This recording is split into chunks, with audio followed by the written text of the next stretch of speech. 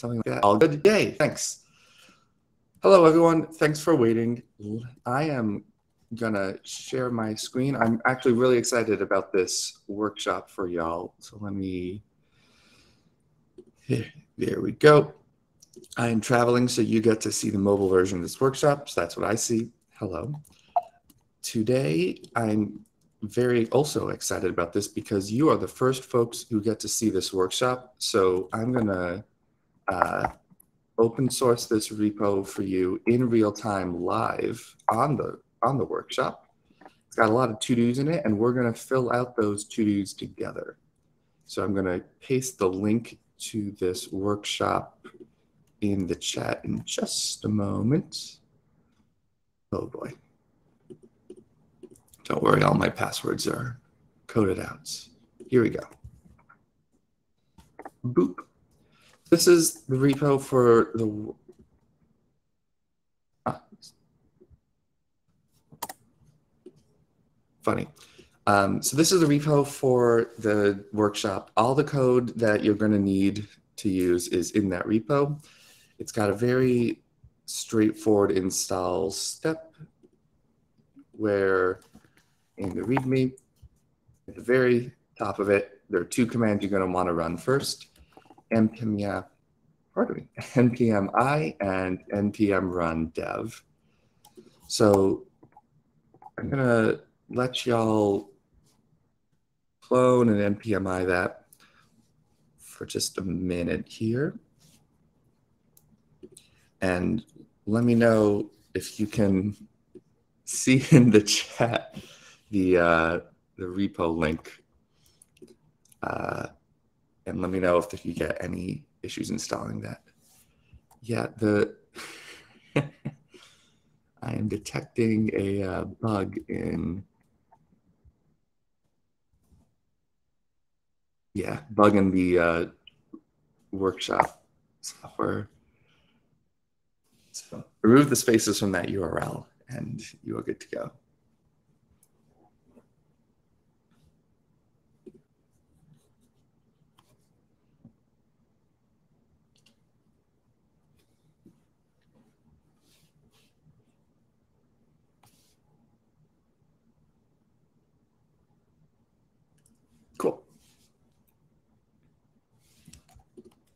Just out of empathy with y'all, I'm gonna rm dash rf my node modules.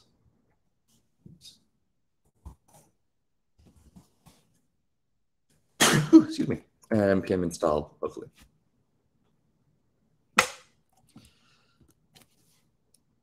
So while this is running, oh, that was faster than I remember it being. This is a repo that uses Vite, which is a nice new bundler. If y'all haven't used it, it's similar to Webpack. It uses esbuild to get you a nice, nice new uh, dev server here. I have in this repo a workshop set up. I created starter versions both with natives, just raw CSS, and then also in Tailwind. Uh, but we're just going to be using the native one today. The Tailwind is just a fun little reference I was playing around with. Uh, this is not Twitter. This is a very quick mock-up that I made that has quite a few bugs if you try to shrink the screen around. It doesn't actually work. It's dummy data. But uh, the the repo's purpose is that we're going to try to convert this dummy page over to using a design system in mid-flight. What I mean by that is we're going to um, we're going to take a look at this in this workshop, and then over the course of the next few hours, we're going to convert it to what's called atomic design, which is a fantastic system that I really like for um, for setting up a, a design system for a page based off of tokens, things like colors, spacing, typography, and then different components. Um, out of curiosity, I would love it if y'all could let me know in the chat. Have you used Atomic Design before? Has anyone here please uh, please just let me know what your personal history is. What have you seen or tried with atomic design? I, I do mean just let me know in the chat while everyone is setting this up.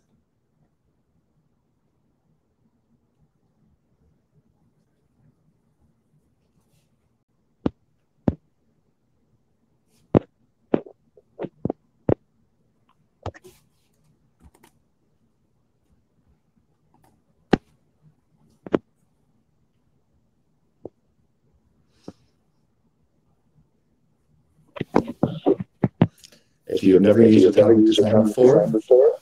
that is okay too.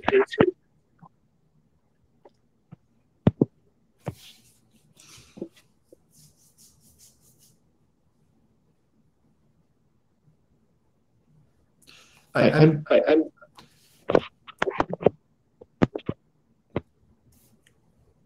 There we go. Fix the octave.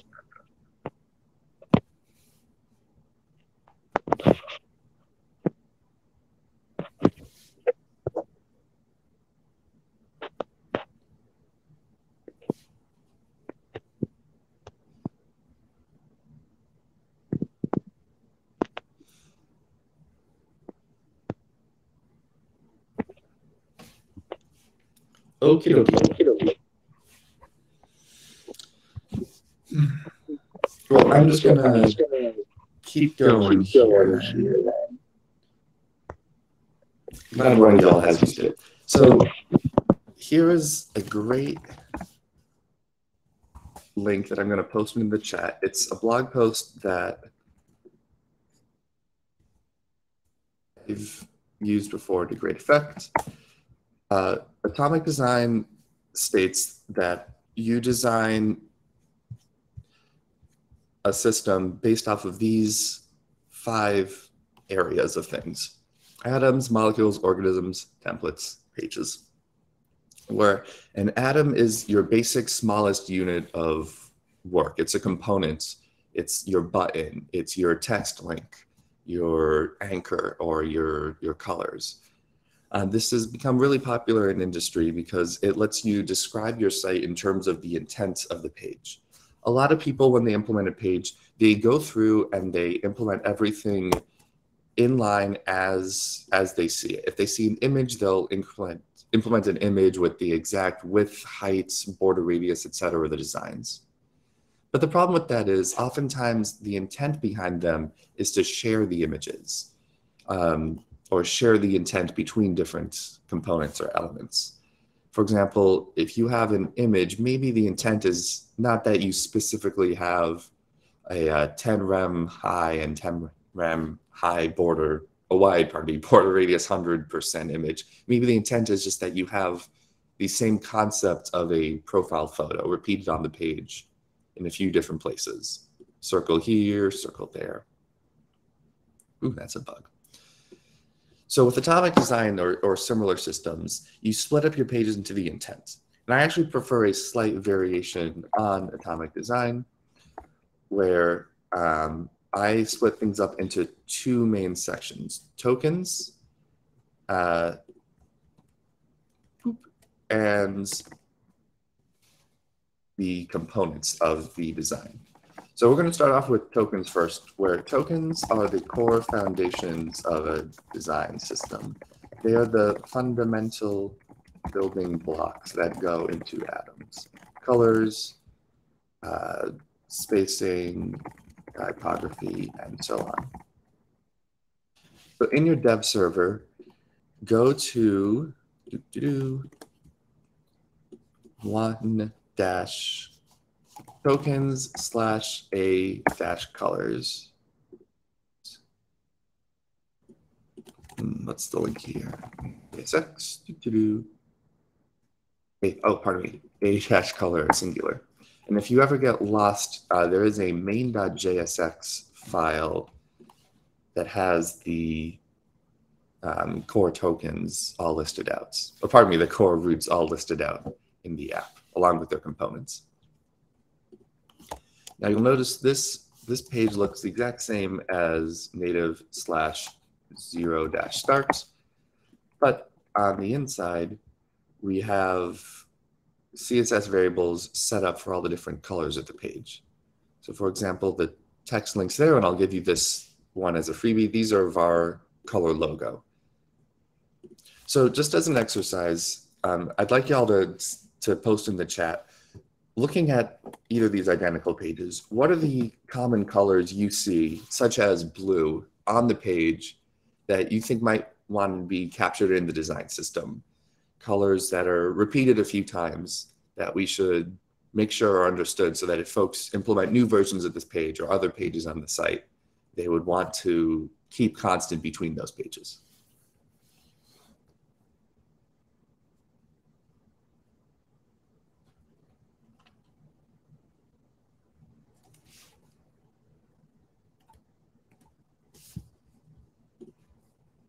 Black, gray, good while you do that, I'm actually video off for a brief moment.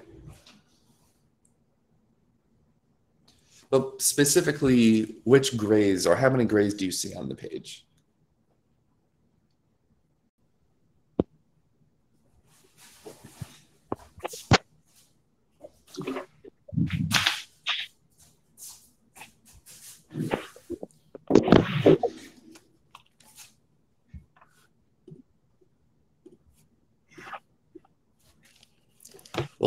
Just going, through the page.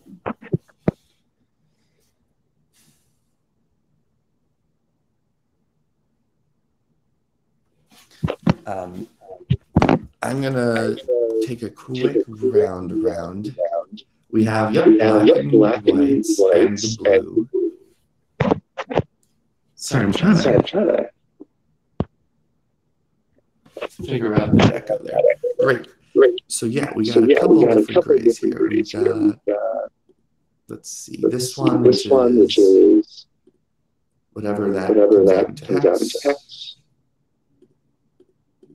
There we go. There we go. Um, we have um, this, yeah, what this, seems what like seems a like medium gray here, here, a light, light gray, gray as the background, as the background for these, and then a darker, darker gray. gray for, for that stuff. That stuff. So, so you can you can, you can view the answers, to, all the things, that I'm going to suggest, suggest on the GitHub repo. GitHub repo. Chat form, chat platform is really messing with it. Uh, I'd also suggest try viewing it on GitHub under Josh Goldberg, Design Systems Workshop, because on GitHub under docs slash and then the section and then the repo link, you can see it in this nice little spoiler tag here. So for example, the first, okay, the echo should be better now. Sorry about that, folks.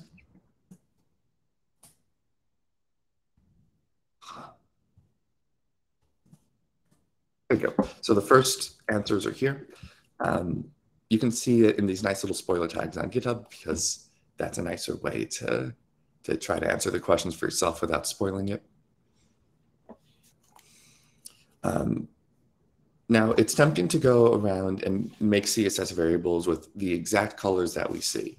Um, if we were to go based off of what we've answered in the chat, there are actually four different grades on the page. And fun fact, one of them repeats itself in slightly different variations, F1 and F3. Um, but remember, the design system is intended to keep the intent of the variables. It's not that we have a specific black color that's used all over the place or a medium gray. The, the intent might change between different color schemes. If someone's viewing in dark mode, for example, the medium gray might still be gray medium. It might be a darker one. The black becomes white, the white becomes black, and so on. So oftentimes, when you're setting up CSS variables for your design system, you're going to use color names or property names that have somewhat more abstract or generic terms, color names like background or foreground. And this is a really powerful concept here, because if you haven't used CSS variables before, these things can be overridden in different uh, versions of your app. And say media prefers color scheme dark, you might have a version of your variables that is, say, the dark scheme. where background is white or 000 instead of FFF, black. Sorry, that's inverted where it's black instead of white. So under the one dash token slash a dash color version of it, I've set up a few variables for you. And I'd encourage you now to actually go through the zero dash starts and, and try to set up these variables yourself. Um, so go to under, here, I'm just going to delete the Tailwind folder, under source slash native slash zero dash starts. There's an index.jsx file, which has this native zero starts function in it. As a sibling to that file, you can go to index.module.css. Then you can set these up. So like color dash foreground and so on and so forth. Or if you want to be a little lazier, which I always like doing because laziness is fun, you can go to the answers here and copy and paste.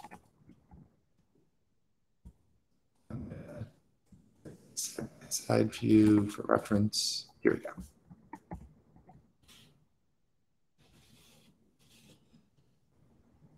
So uh, I'm just gonna quickly move that chat over. All right. So I've set these up. This is a very basic color scheme. If you have a more rich app, you probably have a few more colors. But one of the nice parts of my uh, app is crashing here. Why is it crashing? All right, because actually don't delete the Tailwind folder because Vite relies on it. Never mind that. Here we go. Impressive performance on the build system side. One of the one of the nice things about a design system is you'll find that a lot of apps have a lot fewer colors than you realized. Uh, Twitter only has maybe a half dozen unique colors, like six to ten, on most pages. So I was a little surprised by that when I first started setting up this workshop. I just assumed they use more. Um, so that's a fun little tidbit there. But then also looking through the media prefers color scheme mode. Um, another fun tidbit is if you ever want to try out dark mode uh, on a page, uh, in your dev tools, which if you haven't used before, right click on a page and inspect. I'm using the uh, Option Command I shortcut to open on Mac. And then press Command Shift P on Mac or Control Shift P on Windows. Uh, you can then get this nice little command palette in your DevTools. And if you run prefers color scheme dark, emulate CSS prefers color scheme dark, click that. You get the dark version of the page. Yay. So that is what the design system with colors version of the page looks like. And here is what the old version of the page looks like before I switched over to CSS variables. Prefers color scheme, prefers dark, there we go. And there is no change in the page at all, even though it is in color mode. So immediately here we're seeing the advantage of a proper setup design system, where if designers set up a dark mode color set for the page, and developers are implementing each component ad hoc with its own colors, where whenever they have a, say, a light gray, they specifically add in a light gray, medium, or dark gray in the CSS. They would then have to manually add media prefers color scheme dark and then figure out the, um, the specific color for the component, whatever. That's one point.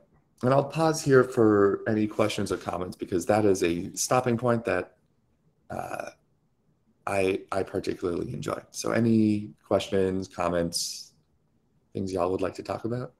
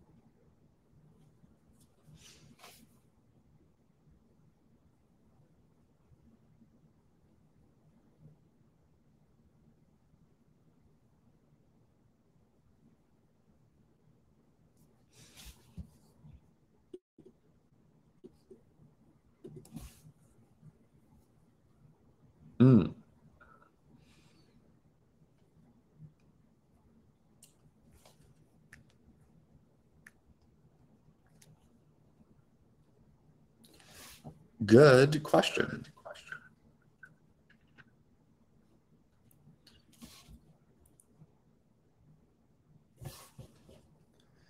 How would you pick names if a particular component, say a button, has multiple colors in addition to the general layout? That's a great question. Thank you for asking, Glenn. Um, I try to go back to the intent of the designs. Um, let's say you have a button that has um, a focus state, which you can't really see too well in this one. It's got like a focus state blue, which I'm going to try to try to make a little more visible here. Say a focus state blue, it's got its blue for the button itself, and then maybe like another one on it. Each of the each of the colors has an intent. For example, in this one, it's got the background blue and then also the outline blue. So I try to describe verbally, maybe even say out loud, what is the intent of that component? Um, is it that, or pardon me, the intent of each of those colors? Is it that it's like an outline or is that a, subtle emphasis? Um, some design systems that I've seen have a lot of different versions of primary, secondary, subtle emphasis, and so on. Um, and oftentimes, what you'll see on a page is that the the components are repeating slight variations of different colors.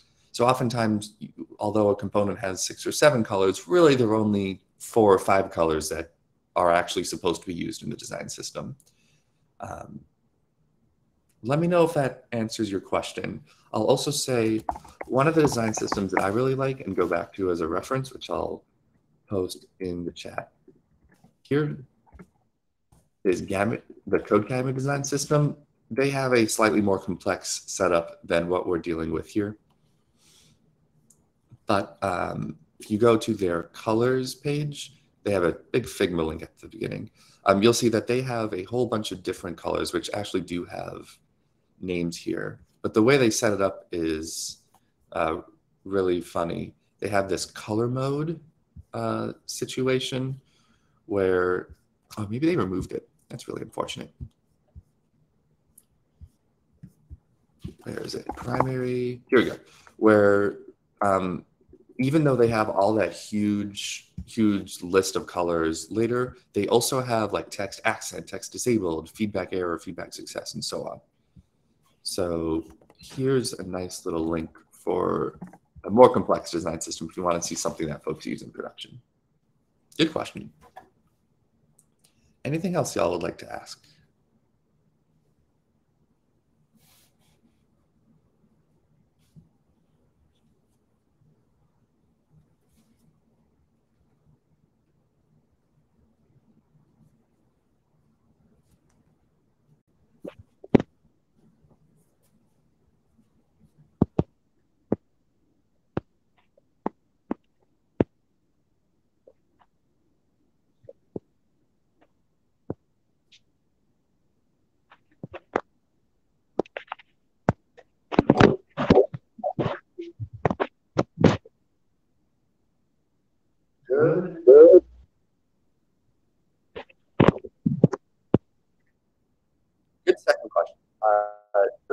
Sense to add very little colors just once somewhere? Um, I'd say probably not. But also, why is there a color that's only used just once somewhere? Um, like on this page, we don't really have any examples of that. But let's say that like someone someone were to change a link to just like that or like know, just further. Um,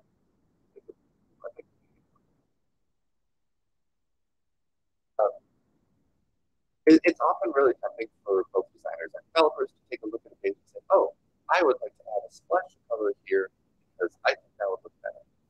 Now, as tempting as it is, it's weird to have a color overshow up on something. It happens all the time. But I would push back against that. Again, both as a designer or developer, I would want to ask, well, what's the intent of the color here? What's the backing semantic idea behind the color? Uh, if it's only used once, maybe this should instead be switched to something in the design system.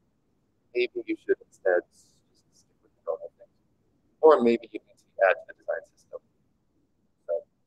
um, if it's really a one-off that actually makes sense on the page, if it's like a marketing notice that's never elsewhere, it's fine to just keep it as its own color. But if you have to um,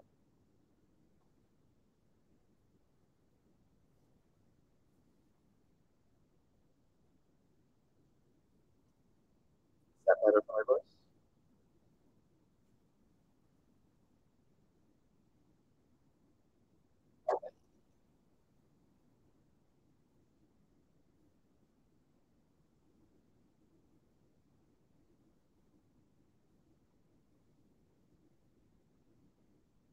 How about now? Is this better?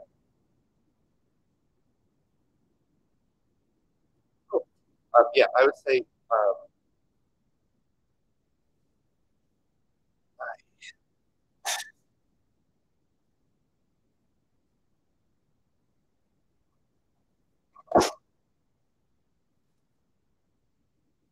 How about now?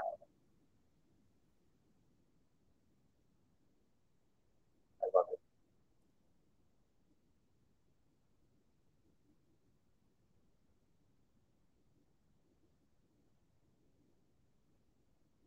Well, uh, this is the best I can do, so you all just might need to raise your, your volume on your systems. So sorry about that.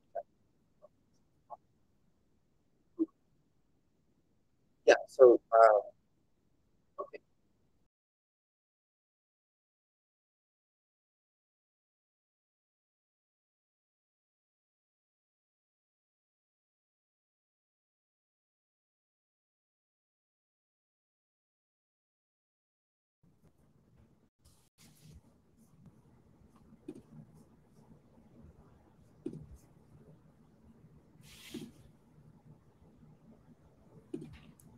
Hey, folks. I hope this is better for the audio because, oh, so bizarre. Okay, well, I guess we're not, guess we're not using the setup I was using before. Okay, anyway, to finally finish answering the question, I would say yes, if something is only used once, then A, check, is it actually necessary? Should you use something from design? And B, if it really is something separate from the design system, then it's okay to just not use a CSS variable. But remember that one of the nice parts of a design system is you get the nicely described colors and other tokens, both for your light mode and dark mode and any other modes such as high contrast need to support. So strongly question whether a one of color is a good idea.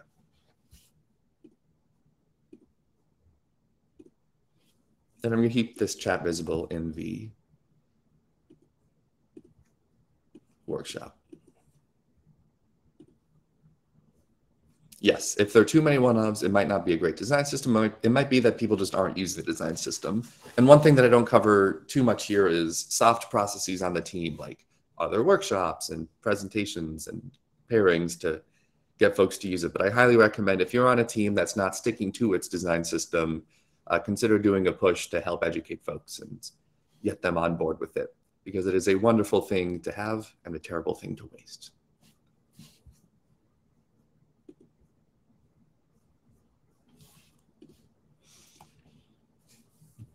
Cool.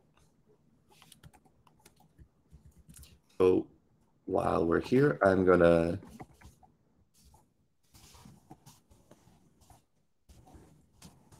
switch up the progress so far so you have the notes I just took. what did I change? Don't want to keep that. Push. Right, and again, you don't need to be playing around with this locally, but feel free to make changes in your zero start folder on your own. The next area that I want to cover is typography. Typography.md. Um, so typography is the text of your app, the font sizes, weights, line heights, and so on. Um, it's mostly those three. You also sometimes get apps that play around with spacing or with um, like weird little kernings or text outlines. Um, it's generally good to standardize this in as few uh, variants as possible, as with colors.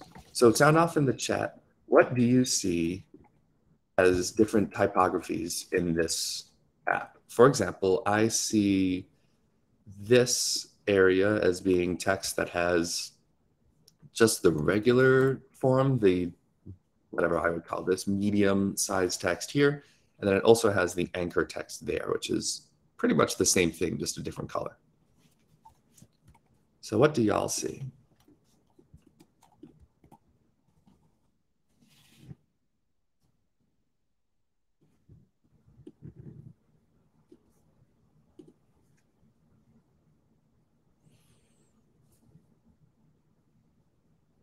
And while you're furiously typing away in the chat, I'll also note something I wanted to mention is that there's a difference between a semantic and visual description of text.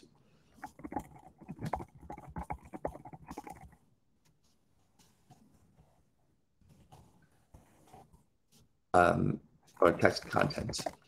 You might see something as a large heading or primary heading that is actually an H4 or H5 on the page. Just because something is visually large uh, doesn't mean it's semantically. Oops, that's a typo. Text sizes. Um, so taking a look at this page, you might think that it's reasonable to use like an H1 for these headings or an H2 where everything else is like H3 or lower. But there's a reason why we have these numbers in the HTML and it's not for the sizes. People who um, people who use a, a screen reader or other assistive tools to navigate a page and also crawlers for Google's and other search engines, Google's search bots and crawlers and other search engines they care deeply about the structure of the page. For them, a heading two tends to describe that the heading is a second level heading, not that it is a particular medium to large size font size. Um, so I encourage you when you're designing a web page, don't use the heading tag that gives you the font size closest to what you want. Use the heading tag that matches the semantic intent of the element. For example, this, this page has an H1 and that H1 actually is the Twitter logo, which is over the entire top of the page because each page should have exactly one H1. It should be at pretty much the top of the page. Um, alternately, I could have put this as the H1. It's not super clear what exactly is the, the best one sometimes. But don't use don't use an H1 just because it's the font size you need. I'm going to play around with the design of this page. Some sometimes you'll see something like this, where uh,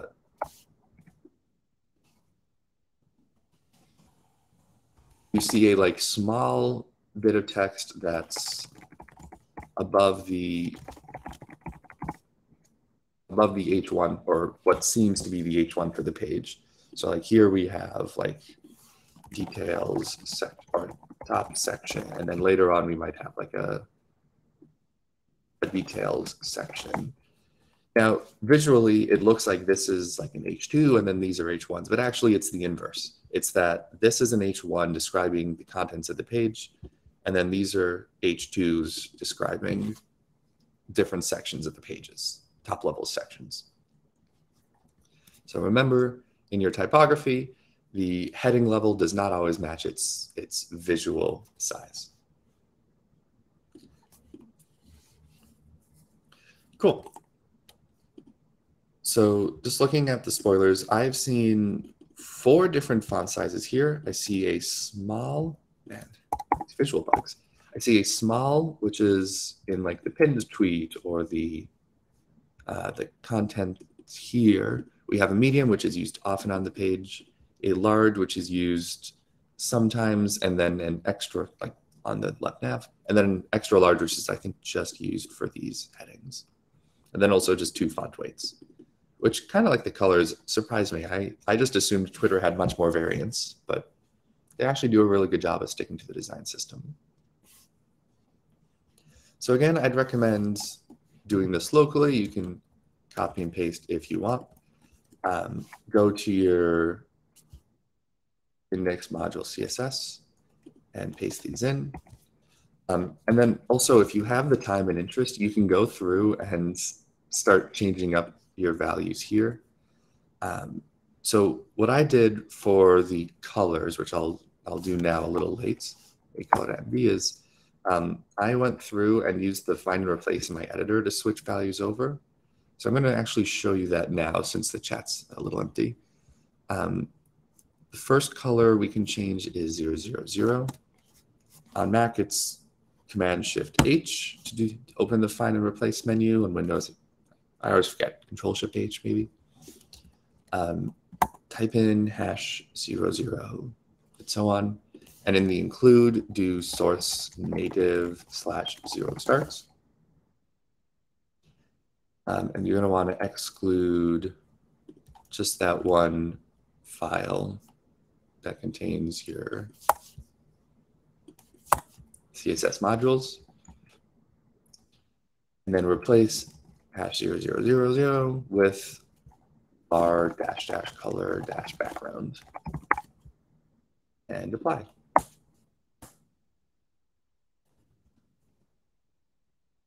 Now, if you do a find for var dash dash color background in your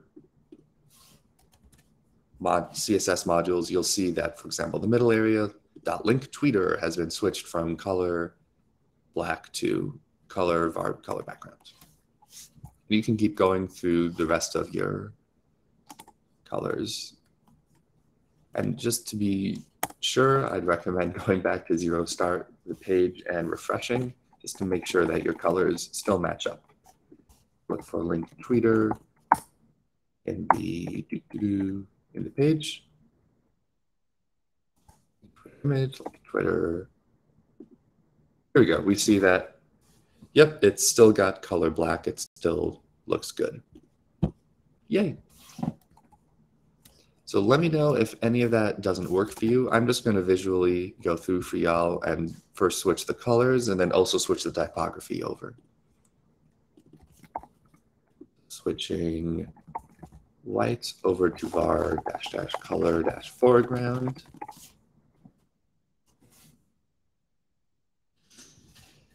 Switching the two very light grays over from the original colors to color extra faint.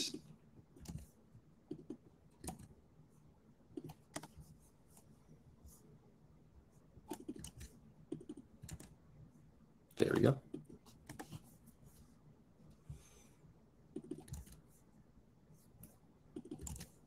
Now we have color faint, color medium,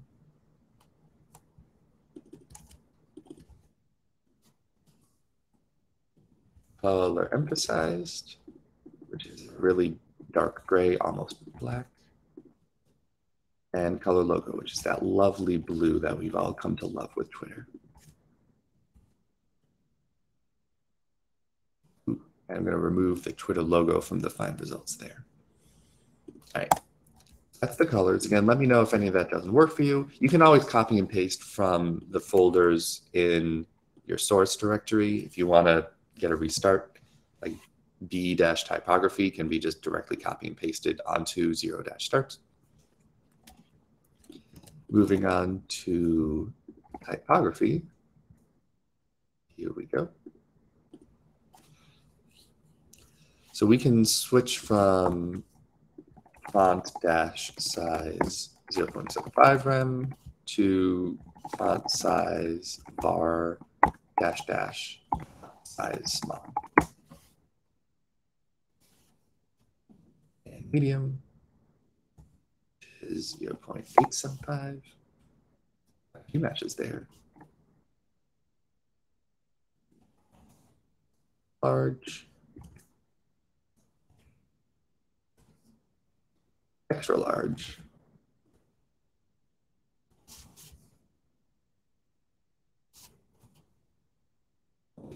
Couple times. Hold.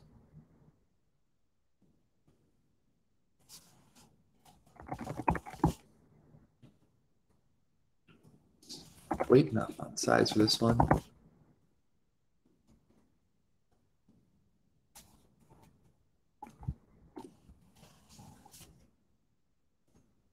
And line heights.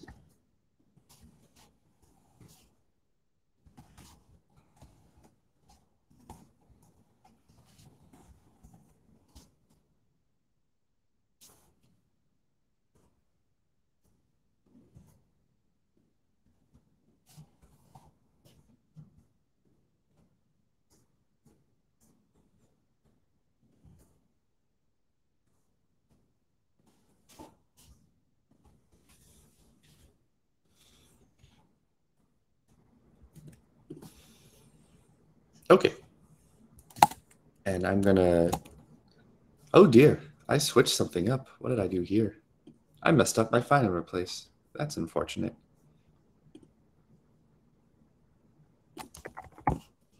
Let's debug. Oh, you know what? I think I prefer color scheme dark still. Okay, Whew. there we go. Okay, I think I switched my blacks and whites in my zero start. Uh, that's really funny. So I'm just going to keep going because I actually kind of like how this looks. So don't follow me at home if you're uh, if you're switching things around. But actually, this is a good opportunity to show if you do mess up something, that's totally okay. I'm going to completely reset all of my changes to zero dash starts and then copy and paste the typography version on top of it. So I just deleted my zero dash start folder, source native, and I copy pasted zero dash typography in its place.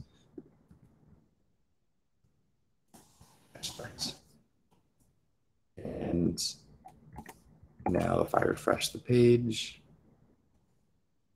you know what, I'm just going to go ahead and restart the dev server. It seems to be unhappy with me. Ah, you know what? It needs um, it needs fix-ups for dash dash or dot dot slash images. So command shift L on Mac to multi-select and then fixing up those image paths. So there's a bit of a penalty to, to restarting if you end up doing it.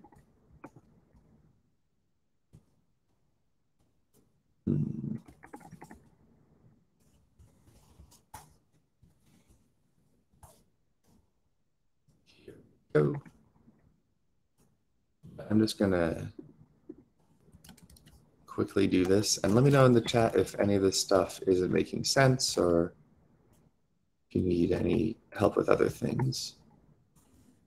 More maybe? I'll just restart and you know what? For debugging strategy, I'd say just go from the, the folder that you feel most aligns with where you are in the in the, the repo. So for me, I've just messed up. I'm giving up on restarting zero start. So I'm just going to go to native slash one dash tokens slash b dash typography. Here we go.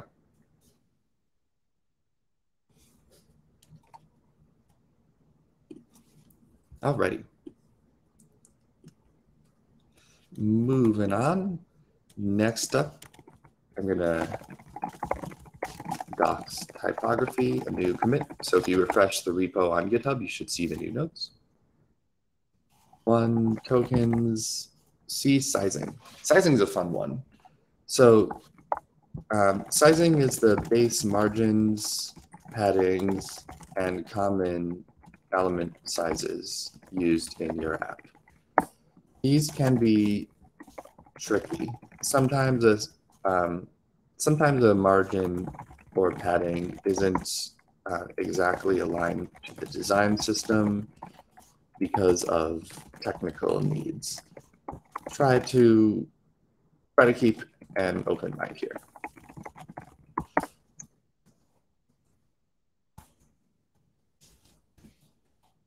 Um, you don't always need to use an exact CSS variable if it's um, if it's just an implementation quirk. So what I mean by that is there are some parts of this page that are really clearly part of the design system for sizing. And for that, I'll give you one freebie and then ask uh, if you can spot any in the chat. One is that um, the this this image size here is repeated a couple times. Um, it's a 48 by 48 here and a 48 by 48 there. Um, other other spacing measurements might not be so important. Like you could argue that this vertical padding here on this H2, which has a half rem for the top is maybe supposed to be part of the design system. Eh, it's hard to say. So waiting in the chat, what do y'all see as potential design system spacings that might be important to capture in CSS variables?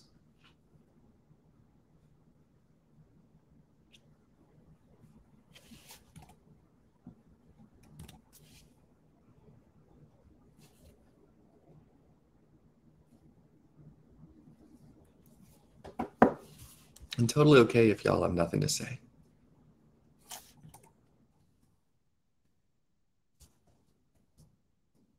Push up the notes in the meantime.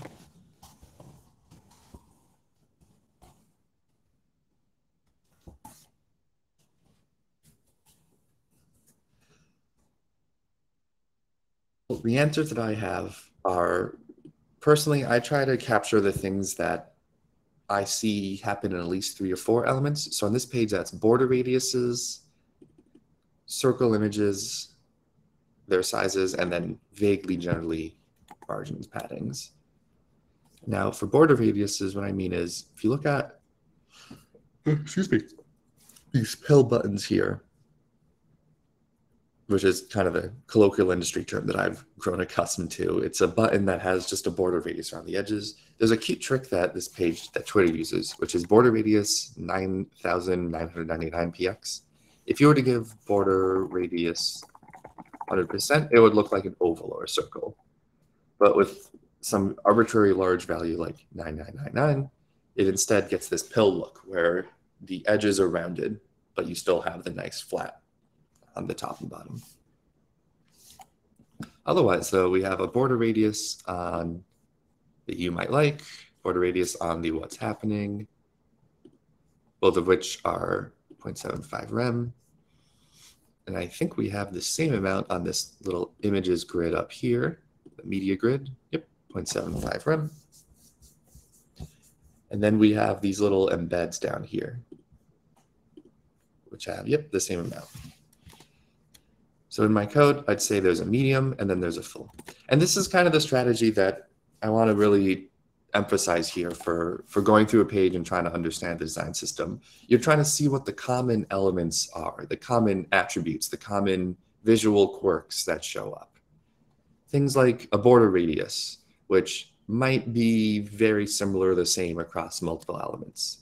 As we saw with the colors, it's not always going to be exactly the same. We had two very pale grays on this page before we standardized it.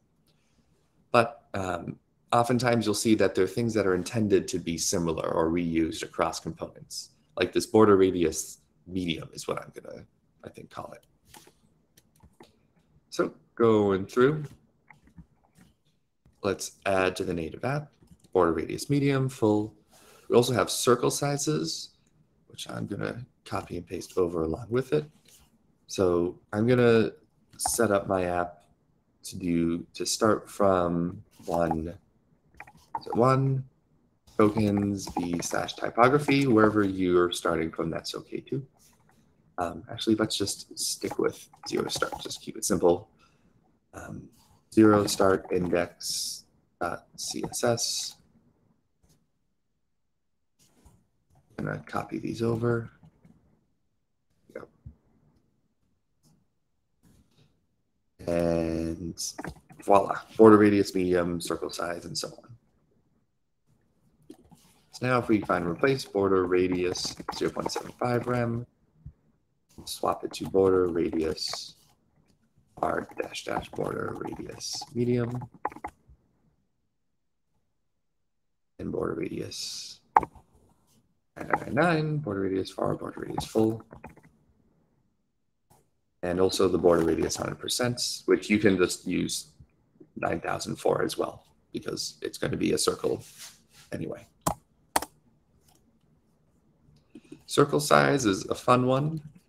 Um, I see it on the page as showing up in these medium images too, which are, again, the 48px. I then also see these images showing up using that same size. Um, these icons, interestingly, also have a width and height of 1.5 rem, the same as these tiny icons, or pardon me, tiny profile images. So I'm going to standardize those as well. So let's say width 1.5 rem becomes width var dash dash circle size small, which might not be the best name for it. Arguably, you could say like icon size small or like the more general UI size small, but I'm going with circle size because that's what I put originally and I'm too too stubborn to change it now.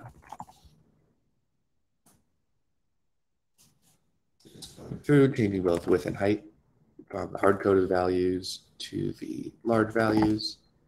And we just have one instance of the circle size large, but I liked it so much and it felt like such a natural thing to encodify that per the question before, I, I actually am making a variable. Sometimes it is in the intent of the design that this is a standard thing. The only one element on the page that has this width and height of 10 rem is the profile image. So I'm just going to go with that. Circle size large.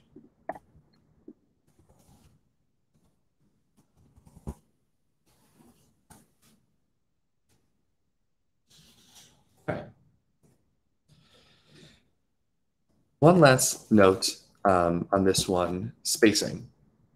Spacing can be tricky. Like I was saying before, sometimes you're not sure, it's not clear whether something is intended to be part of the design system or just is a coincidental design implementation. So I'm going to say now that although I'm replacing, just to keep things quick, every every every unit of measurement that seems to match with one of the design system tokens for spacing, um, it's probably a better idea to go through and audit your code base if you're trying to switch over in place. Don't just switch every single instance of 0.5 rem over to your spacing small or equivalent, let's say. Um, go through and figure out what's actually supposed to be adhering to your design system. In this case, I'll shout out a few places that to me feel like the intent is to have a standardized padding, just for reference. Um, between these links on the left in this buttons area, it feels to me like the like there should be like one and a half units of margin between them. This has margin bottom one rem and margin top 0.5 rem between each element. So that feels to me like a 1.5 rem unit of spacing that should probably be codified in the design system. Uh, the implementation though, right now, is not quite the same. If I were to redo these elements from scratch, I would probably do something like margin bottom 1.5 rem, margin top 0, and then the area like a padding top 0.5 rem. So we both pad it based on the design system and then also have an exact single unit of measurement between elements based on the design system. But for technical reasons, that's not always doable. Um, buttons themselves might need different amounts of padding or maybe there's just some weird reason why your CSS is hard to structure that way. So proceed with caution and don't always do at home what I'm doing. I'm just going to replace 0.5 rem with var spacing small. Place one rem with var spacing medium. And large with spacing large. So that was a lot of occurrences. Quite a few dozen of them switched across there. Thank you for the thumbs up. By the way, workshops are tricky for for me to give for anyone to give remotely because it's hard to get a read on the room. So please let me know if things are making sense if they're not making sense if there are any questions you have. Um, i'll definitely leave a good amount of time at the end for general q&a because we're covering so many topics. Uh, but anything you want to chat about or give a thumbs up for please let me know. Makes me happy. Yay! Thanks. Glad to hear it both of you. Appreciate it Made my morning. All right. So that's that's the three primary sections I have on the tokens. In actuality, they're going to be probably a lot more tokens you have in your design system. Things that I haven't implemented here, like focus states or animations. One of my favorite things is a design system that codifies the transitions between states, like the timing or the animation used. Um, one of my favorite um, things to do when I'm designing a page, which is a thing that you never want me to do, I'm not a good designer, is to put like transition 250 milliseconds just on everything. That's like this arbitrary constant that I've declared I like, so that like as stuff uh, as stuff changes, you get like this nice little fade animation. I'll make these bold so it's easier to see color var dash dash color. Let's just pretend that this is a hover state. Um, and it's good. It's good also to standardize those in your design system. And in fact, if we go back to gamut.codecademy.com, let that load for a bit, and let me just make sure. Yes, I did push my changes. Um, in there, they call it foundations. Um, they have typography um, with one more really cool thing that I didn't want to bog down this repo with, but um, they they have like an entire set of recommendations. A couple things I didn't want to bog down this this repo with. One is they have a set of recommendations for like line length and alignment, which I think are really smart. I'd recommend reading if you have time. Just fix the link there. Um, and also they have dedicated text um, elements, but um, I'm going to go into components next and did not want to bog down this repo with that. So just keep in mind that this this Gamut site has a lot of documentation if you read through it that is only partially captured in this workshop. Um, another really good design system that you might have used before is Material UI or MUI as they've Wait, hang on a second. Hang on. That's a different thing. Material IO. Oh man. I love this. This is this is classic front end space where the there are multiple things with basically the same name. Uh, but Material Material IO is also a very good design system. Um, it's got design uh, and then a color page that has themings and palettes and all sorts of lovely pieces of documentation and principles for you. So would recommend. MUI, M-U-I, the one I showed for a second, is also pretty good, but not what I wanted to show here. And also what I love is they have these beautiful visuals in material.io, uh, like primary, primary variants, secondary, secondary variants. So your color color scheme for your app is probably going to include some colors that we haven't colored in the covered in this workshop, such as error states and variants for like hover or focus states. Cool stuff. All right. Whew. We've been here about an hour, which means it's time to move on to the second third of the workshop. I'm actually kind of pleased with how time is flowing here. Second third is two dash components. Um, components are components are the build building blocks that combine uh, add tokens into visuals. Um, they can be as small and simple as text links or buttons, or as big as a full tweet or page labels. Uh, notes, components. Um, components are what the original Atomic Design blog post really focused on.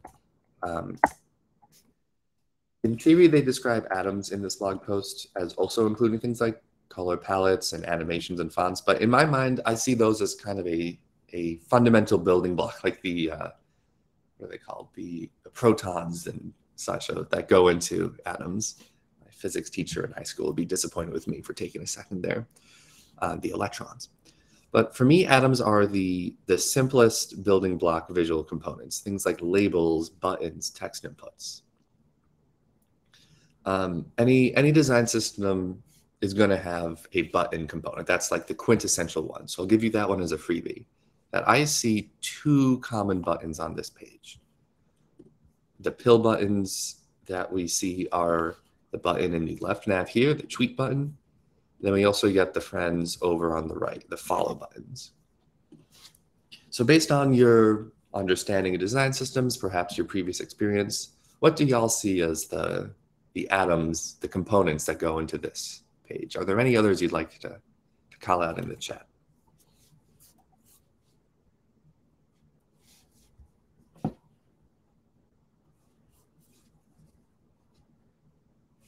And while y'all might be trying, I'll also note the URL to keep going is two dash components. That has the, the answers in it, as does the GitHub repo. Yes, thank you, Glenn. Images and icons, definitely. Icons are a big one. Um, most design systems have a set of icons. Here we have home and what did I call this? I forget what I called this icon, but uh, yeah, the like the link or hashtag icon. A lot of them will have like a calendar or and or location thing. Twitter's icon set is actually kind of cute. For your birthday, they have a little balloon one, which I always I always thought that was nifty. Um, and then the image component is huge. Um, a lot of modern frameworks like Next.js or Remix either ship with their own fancy image components or include recommendations for using like a community standard one. Here, I'm just going to focus on the profile photo component that we have on the page. There's a set of them each of which has a border radius of the really big one and not too much else on the styling, but the sizes are kind of consistent. So I'd say that like profile photo is a good one for us to have here. I'm also seeing I introduced a bug at some point where this one is very small, but should be bigger.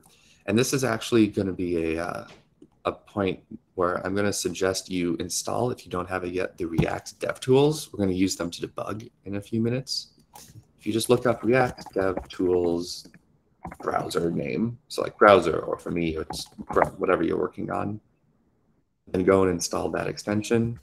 I'll paste the link in the chat to the Chrome version. Um, and then also I'll paste the Firefox version. If you're using Edge, I feel for you, but uh, I'm not going to paste the link because I'm on Chrome. LOL. Sorry, Microsoft. Actually, Chrome DevTools, is there a fi uh, Safari extension? Okay, yeah, it exists. Good, good, good. Maybe. I've never used it before, Safari, to develop, except for specific bug fixes. So what do I know? Anyway, just, yeah, you might want to get that, and then we'll use it in a few minutes to debug. But just looking at the answers I've set up, um, for our atoms, which are the fundamental smallest building blocks, I see content preview as being a common atom because I see that in a couple of places. We have it here with this. I don't know if you can see it in the stream, but this little link embed that has the border radius around it.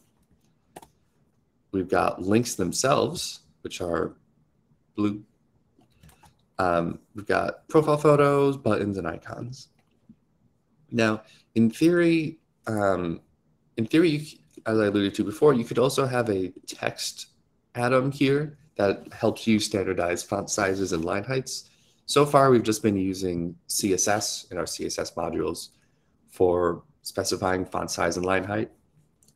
And ideally, you would use a text component um, in the Gamut design system, which I'll paste a link to in the chat here. They have their text element variants where you have an as prop that specifies what it is, and then a variant that specifies size. You can also do like font size and font family manually. That's ideal. However, I didn't want to take up time in this workshop going through and fixing up every single instance of text.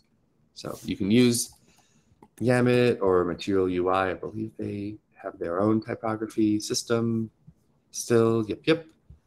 Um. Yeah, they, they have a whole whole thing there. But for now, we're just gonna we're gonna skip that. Cool. Um, so the first one is content preview. Here we go. Um, I'm going to show you the end result, content preview index JSX. This is a very standard component that you might see a similar structure for in a lot of design systems that use CSS modules and React. It takes in whatever amount of props you want to give it and then forwards them through to the internal anchor element. Um, later on when we convert to TypeScript, we'll see how this is actually like kind of annoying to understand conceptually and thus therefore in the type system. But for now, it's not too much code. Um, and I'm going to go to a component that uses it. Notice, by the way, I haven't actually dug too deep till now into the actual implementation of this because we haven't need to. But I'll show you the structure now, now that we're actually going through and replacing components in line. The page has three sections, a left nav, a middle area, and a right column. And if you use the React Dev Tools, you can go through and take a look at the structure interactively in the browser. The left nav has the buttons area, so I'm going to go to that real quick. Left nav, components, atoms slash, oops, left nav, helps to spell.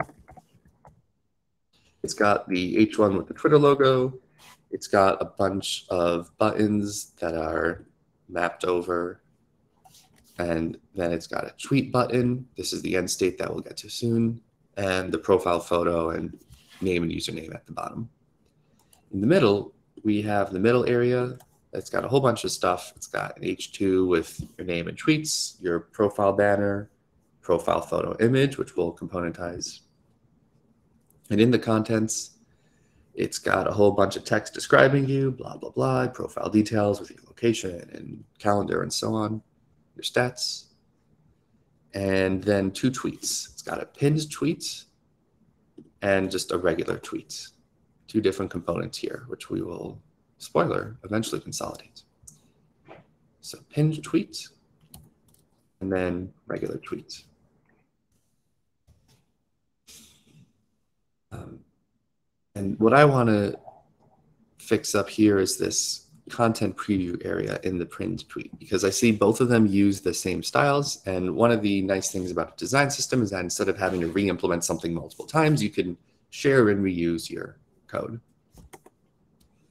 So in my zero dash starts pinned tweets, I'm going to look at the original code here, your native. We have this, where is it? We have this link here. So I'm going to show you on the left the pinned tweets in the original version, and then components, atoms, and tweets, index.jsx. Here is what the design system-ified version of it is. It's the same thing. It's actually almost the exact same code, but here we are switching to using a content preview component. That content preview component comes from our components directory. So I'm going to start setting that up now. Where I'm going to create a new directory, components.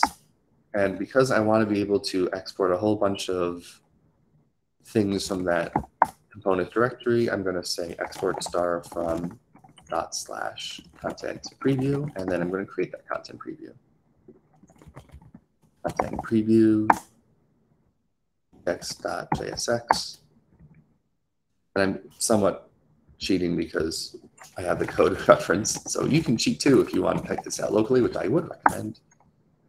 I'm using this utility class name cx classes styles from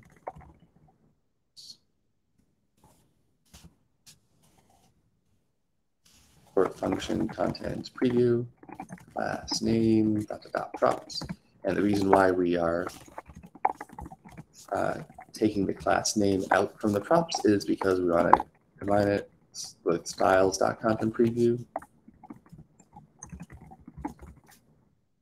But otherwise, all the other props are getting forwarded, which includes any href and children and so on. And then in that index.module CSS, this gets to be the fun part of implementing atoms. When, you, when you're looking to convert a design system over in place, um, you have to ask yourself, what are the atoms that, or what are the components unique properties and what are the components shared properties? In this case, the shared properties that I really care about for this content preview link are the border radius, the border itself, and I'm thinking the padding inside of it. We can see that it's got a var spacing medium as its padding on bottom left top. And you know what, we can probably probably just go ahead and use that for the padding everywhere in the component. So I'm going to say dot content preview has padding var dash dash spacing medium. Although I will say, I think in the implementation, I can actually give it the uh, the padding. Oh, you know what? I don't know why this isn't showing up here, but there is supposed to be an image there that loads. Image dead. Okay, the image is dead by now.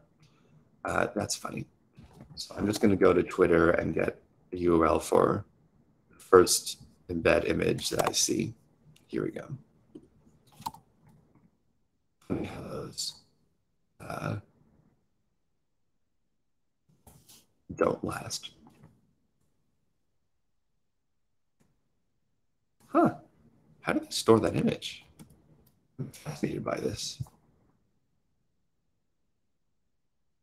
Aha, here we go. Thank you, Brittany Joiner, who is, by the way, a great person to follow. Um, just going to go over pins, tweets, middle area. Your start, middle area. Where is that pins, tweets? Here we go, and I'm just going to this with it. You can find replaced with whatever image you you want locally.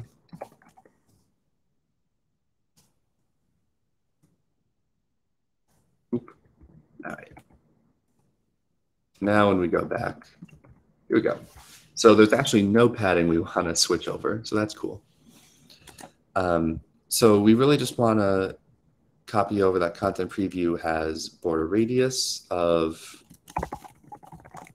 var dash dash border radius medium and border 1px solid var dash dash color faint. Then I will also note that because it is being displayed as a block element and A or anchor elements are default inline or inline block. I always forget. Display block. There we go. We have made our first design system component. It is a content preview component. It is seven lines plus five lines of code. And it's exported from um, components slash, oops, I put that in the wrong directory. That's fun. Zero start slash components slash index. Now, in theory, you could skip this index.js file and have people import directly from component slash content preview, but in my experience, that's real annoying. So we're sticking with the index file. And then in our pinned tweets index, we can import content preview from dot dot slash dot dot slash components. In theory, if you're building a design system, you might have like an npm package set up, but that's not covered here. And I'm just gonna switch this over. Now here comes my favorite part, deleting code. Because we are using the design systems version of this content preview, we can find the dot link and remove any styles that are shared between the two, meaning border radius, border, and display. Funny enough, just alphabetically, which is how I normally sort my CSS, fight me, there are the first half getting removed here. Shout out in the chat if shout out in the chat if anyone else sorts their CSS alphabetically, or if you have your own strategies you feel strongly about. Yay. So this is good. We have deleted code. Deleted code is always a happy moment, even if it's code that we re-implemented or copy and pasted or cut and pasted elsewhere. And now I'm going to go do the same thing in the other, the tweet components. I'm going to import content preview, go to styles.link, and use the content preview here.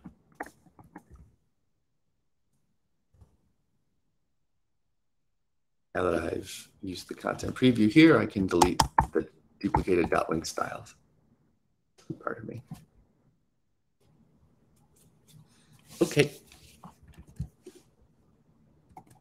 So that is our first design system component. Yay. Woo. And I'm going to go ahead and push up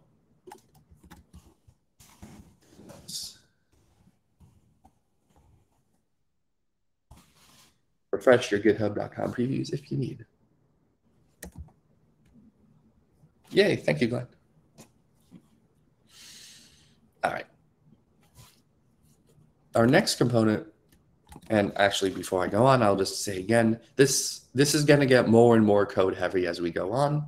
Um, please let me know if you want me to slow down or speed up if I'm just taking way too long for you. Love it. All right, so our next components are atoms.md file. Our next thing is link. And this one has a fun little prop shenanigan here. Um, actually, you know what? I think I removed that. So I'm just going to go to middle nav, middle area again under native zero starts gonna gonna say that uh, this styles.anchor gets repeated a whole bunch of times. And this is actually a really good indication that if you see something repeated a whole bunch of times, you probably want to repeat it in your design system only once and then reuse that thing.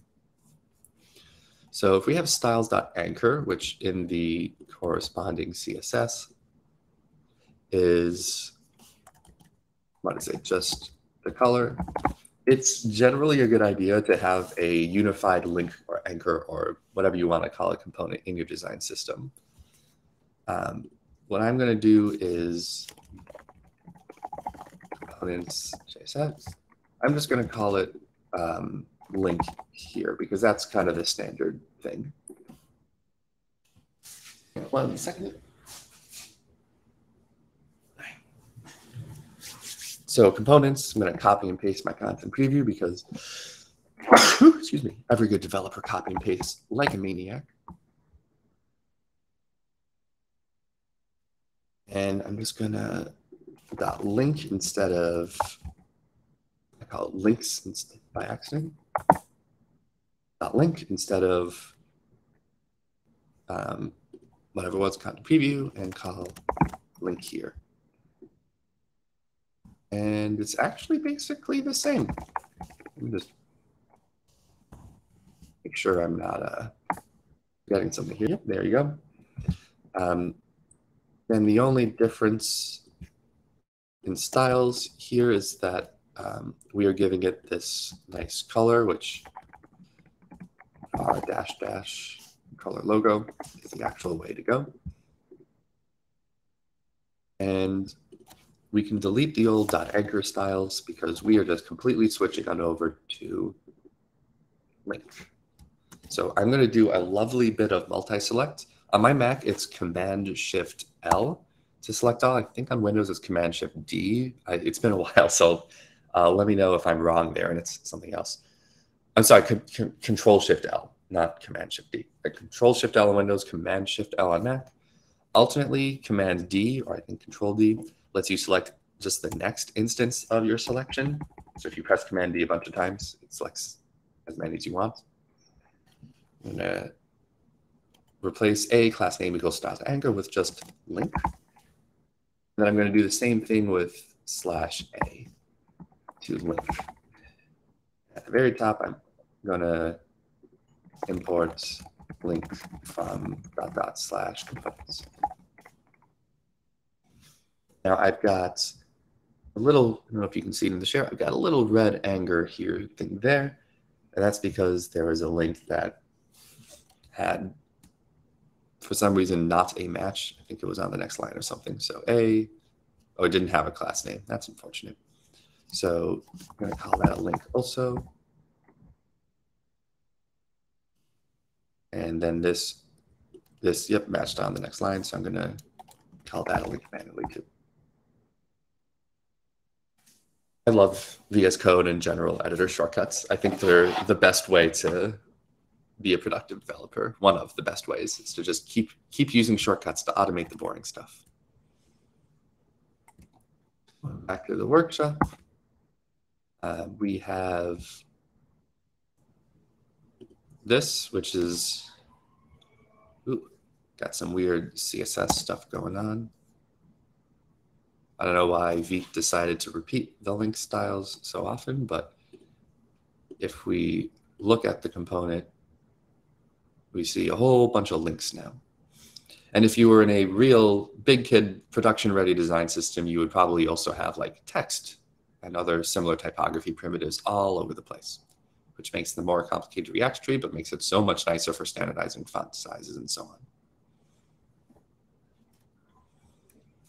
So in theory, we can go through and place replace links in the rest of the page.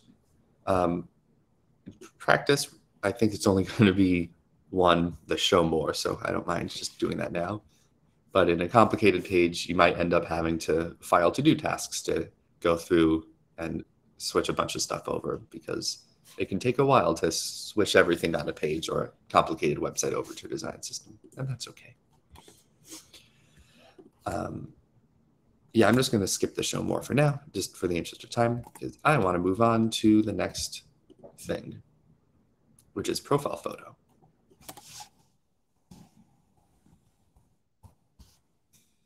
So adding notes up here.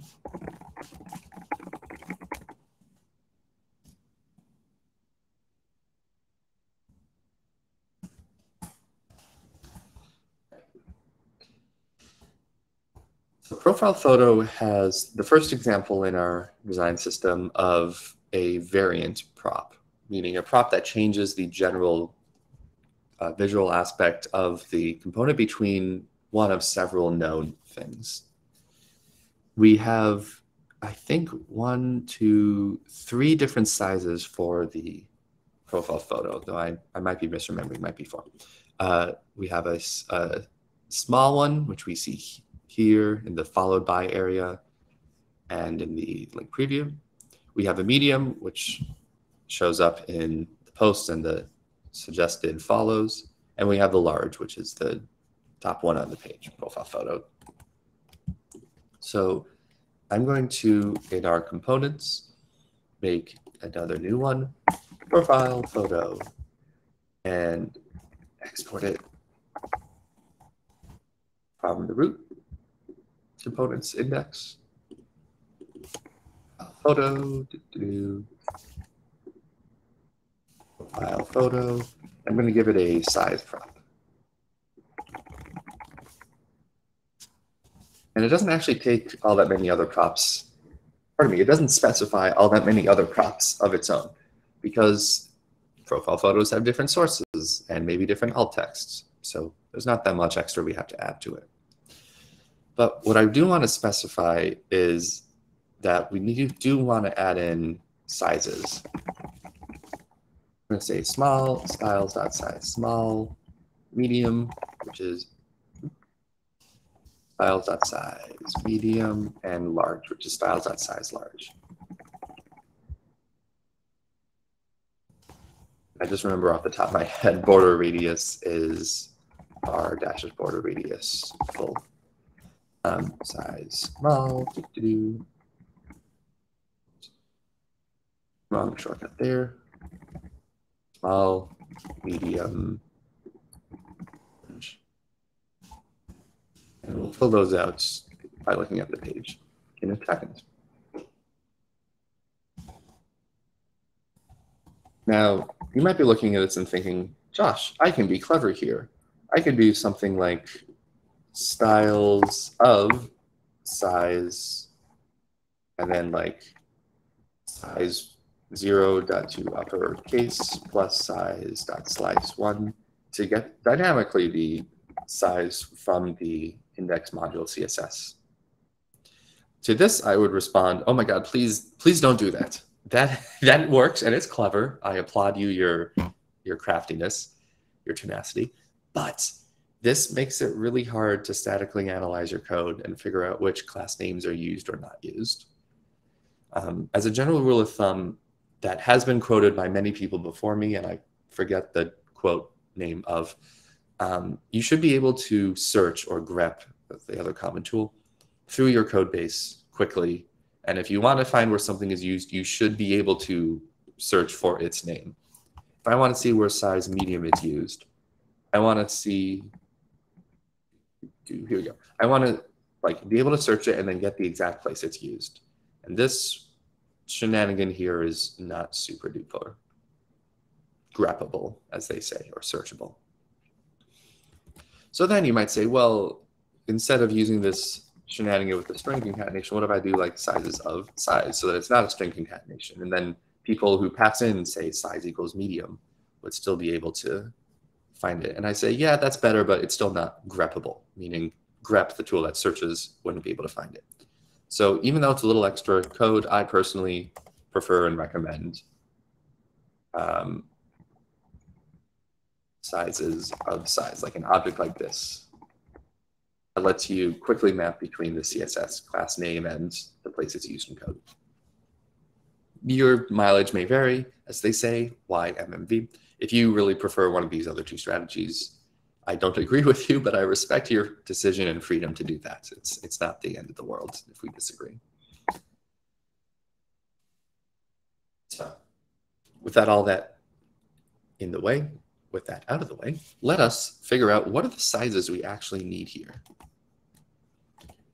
I see this big one is within heights uh, circle size large. So I'm going to move that over here with circle size large and height. By the way, if you missed it, I just pasted and then duplicated the line. Uh, to duplicate the line, the shortcut I use is Command C, Command V, uh, or on Windows Control C, Control V. If you just have a empty selection on the line, copying copies the line and pasting duplicates the line. Yay. And spoiler alert, I'm pretty sure from my recollection, it's circle size medium for medium and circle size small for small. So using that command B or control B shortcut that I mentioned earlier, I'm multi-selecting once on each of them to switch it over. All right. Now we can go through and start replacing instances of profile photo in our code. Zero starts, middle area, index, first thing that we find is this big friend here, profile photo. And I want to shout out something cool in the editor. You don't have to be using VS Code. Apologies for not remembering to mention at the beginning. You can use whatever editor or text situation thing you want. But I really like VS Code and similar IDEs because they come with TypeScript integrations, which even in your JavaScript file give you really nice auto completions. I typed in profile photo with a typo here with a capital H by accident, but it is still suggesting that I use profile photo from dot dot slash components. Yay, refactoring tools. And I'm going to add a size equals large here. And now that we're using the profile photo component, style switch, I'll move to the bottom of this page's styles. We can get rid of duplicate ones. So banner image. Um, oh, wait, shoot. I got the wrong one. I got the banner image, not the one just below it, profile photo. Here we go. Profile image has a border radius and a height and a width that we can remove. Now, interestingly, it also has a border, which, oh lordy, that's too big. What did I do here? I forgot to add a size equals large. Here we go. Nice. It also has a border radius, um, which you can keep separate. You don't have to move everything, every single style under the sun into the design system. Uh, but I'm actually going to move that border radius into the design system also, because I see down here, it's a little hard, so I'll, hard to see, so zoom in. These tiny little profile photos of my stupid smug filing, smiling face are also given that border radius treatment. VS Code for the win. Yeah. Appreciate you. Um, so I'm just going to move that over. Um, now to start, I'm going to give it a uh, dash dash color. I think it was. What's the? Yeah. Um, but as we'll quickly see, 4px border radius doesn't actually work for everyone. So just, just to play around, I'm going to switch these over in place, followed by, here we go, profile photo, size equals small. These are profile follower image. So here we see that these actually have a border 1px solid. So we can move that over to the specific sizes um, just to not have to duplicate code. I also want to note that uh, speaking of duplicate code, we have the duplicate solid and color. So I'm actually going to move these into their own declaration here, border style solid and border color var dash dash color backgrounds. So we can just do like border width on each of these I think actually what I could have done is border solid var. See if that works. All right, we got the border radius and everything set up here with a nice 4px border. And then, yep, the 1px border down there. Very nice. This makes me happy. However, I've actually introduced a very small discrepancy in the original design system, um, or pardon me, the original page implementation. Because of that bug, I'm going to switch the Tailwind start version as a clear slate. Um, I don't believe these images actually used a border. So we might see a bug pop up where there might be an extra white border around these, which we might have to get rid of. So let's do that now. So start right column. Uh, let's do, do, do. Where, here we go. Image, might like image. Let's use profile photo for these two. And then the size is medium. Here we go. Yeah. In our new version, there is a white border radius. In the original, there was not. I can't have that discrepancy. It might not be super visible on the workshop stream, but I promise you there's a small border radius of something like 2px around these images. Um, now, I didn't actually specify a border width in the styles. And in fact, our page doesn't have any size medium profile photos with a border width. So a couple of notes on that. One, um, it is very doable, very plausible that in implementing a design system, you may find that there are combinations that don't exist on your page, your app.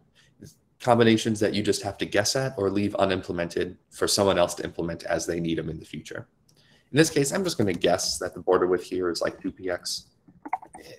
It doesn't matter because we don't need it. But um, if you're if you're a designer and you need to make up a combination, it's okay to either leave something unimplemented or undesigned with just a note of, hey, if you need this combination, let us know. We can make it for you. And if you're a developer and you find a combination that you might think you need to implement, but you're not sure and there are no designs for it, just ask your designers, hey, what is the combo supposed to be here? Maybe this was actually 3px, or maybe the design system says you should never have a medium profile photo with a border radius. Who knows? So always, always feel free to, to ask if you're a developer, what are the intents of the designs?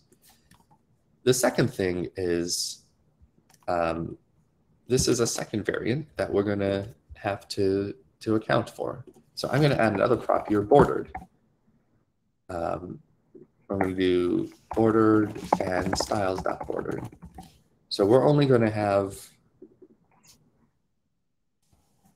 bordered class name be the thing that specifies border width here. So dot size small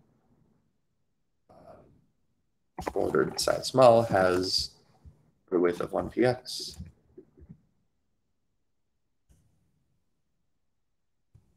Isn't getting all weird. Border of size medium is going to have, say, arbitrarily the 2px, and then bordered size large is 4px. Funny enough, we don't have any styles on the profile photo, which is weird. I thought it was Oh, right, it's border radius. Oops. There we go. So profile photo's only native style that is always applied is that it has a border radius. Otherwise, we have a style, and then optionally we can specify that it has a, a white border or color background border around it, which becomes black and dark mode.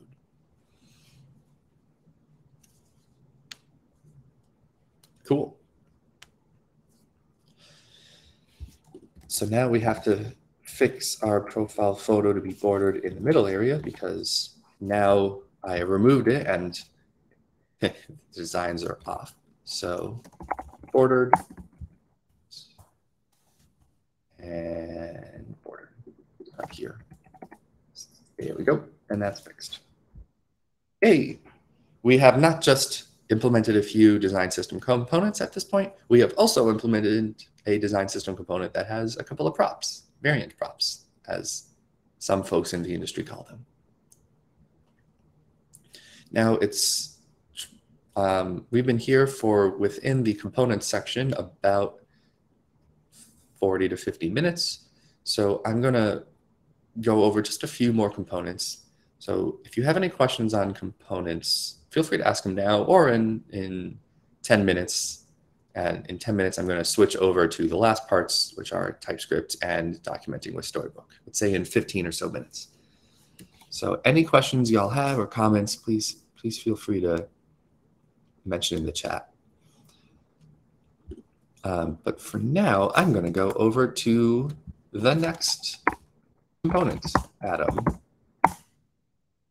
Um, oh, apologies. I said over to the next section. Said TypeScript. What I meant is the next section of tokens. Uh, pardon me, of components, which is molecules, which are combinations of atoms.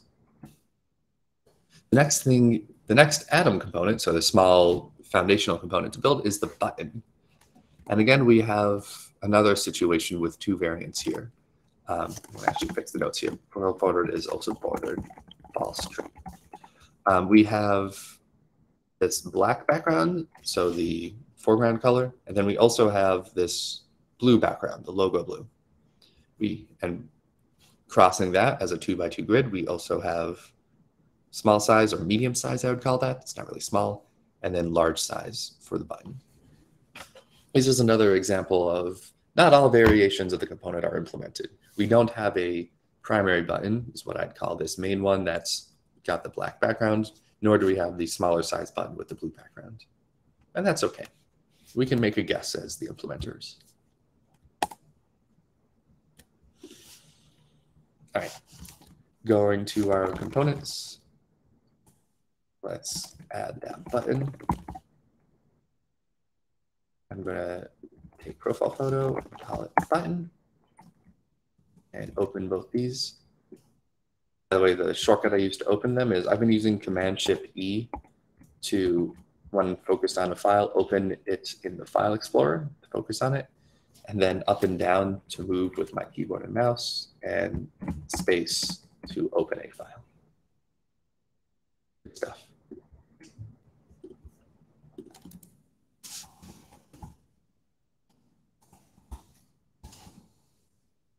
Just add the ducks.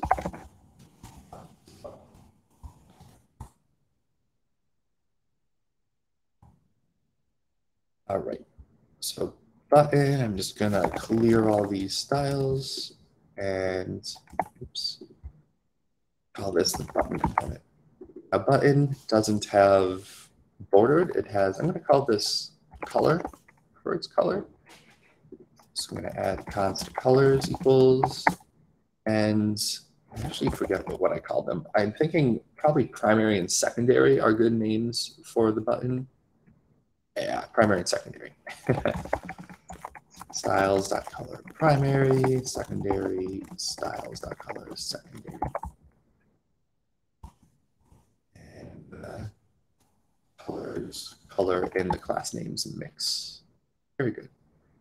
Primary and secondary are really nice semantic names, which similar to how we were calling things like color logo instead of color blue, help capture the intent of the color. The intent is that it is a primary button. It's the most important. It's the call to action, the thing that you're trying to draw a user towards, not just it's blue. It's a key semantic difference there. And things are broken because I haven't saved. What I, what I mess up here? There we go. We don't have any styles implemented yet left. Let's go to our uh, left nav because we don't have styles yet. Words are hard. First one in left nav is this tweet button. Oh, right, because our button is a button, I should switch that from button. I'm going to the styles for tweet button. Drag these here to be nicely arranged. Dot tweet button.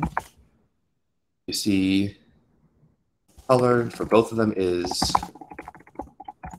the color background. So remove that. Um, a good rule of uh, guidance, rule of thumb to go by is um, margins tend to be styles that are added to components by their users, by the components that use them. Um, whereas padding is internal to the design system. Padding is inside the element, how much padding do we need? So I'm going to say that this is a what did I call this? Uh, let's say a medium button, a size medium. Size medium has this amount of padding, and then color primary has this color var dash dash color logo. Um, and then also font weight and border radius are common to all instances of that button just to show that I'm actually changing things, I'm going to look at what happens if I remove the common styles from the button. It looks like just text on the page. then if we switch this over to our fancy schmancy button from, sometimes the autocomplete gets it wrong, from components, import button from dot, slash components, and then look at it again. Oh, Why isn't it working? Ah, I forgot to switch over the class name. Files that button. Oh, almost. Uh, the font weight bold, but not the color. So I think I forgot. Yep, I forgot the size and color prop. So let's say color equals primary. By the way, you'll see later in the workshop how we can help enforce the proper colors because, or pardon me, the proper props, because it's very easy to forget to add a required prop, as you just saw. And the way we're going to do that is with TypeScript. Excited about that. Looks like in my implementation, I swapped the colors, so let me fix that. Uh, it's background, color backgrounds, not color, color background. Um, background color logo. There we go. And we are, oh, whoops, this was size large, not size medium. Doing great this morning, folks, or evening for you, afternoon. All right, um, there we go. Now our button is nice and big. And in fact, this isn't in the other parts of the workshop, but one nice little trick for buttons is to add user select none. That's just a nice little treatment there. It makes it feel like more of a button. And in fact, you could add even more styles. You could add like hover states and stuff like that. But for now, I'm just going to leave it as just user select none for the sake of time. Okay. Button has user select none. It's got size large. Now let's add in the other one, right column. Uh, follow buttons here. Button. There we go. Adding components and that's color, oops, color equals secondary, size equals medium. Yes. I'll use a select so I know this is using the new button. Yay.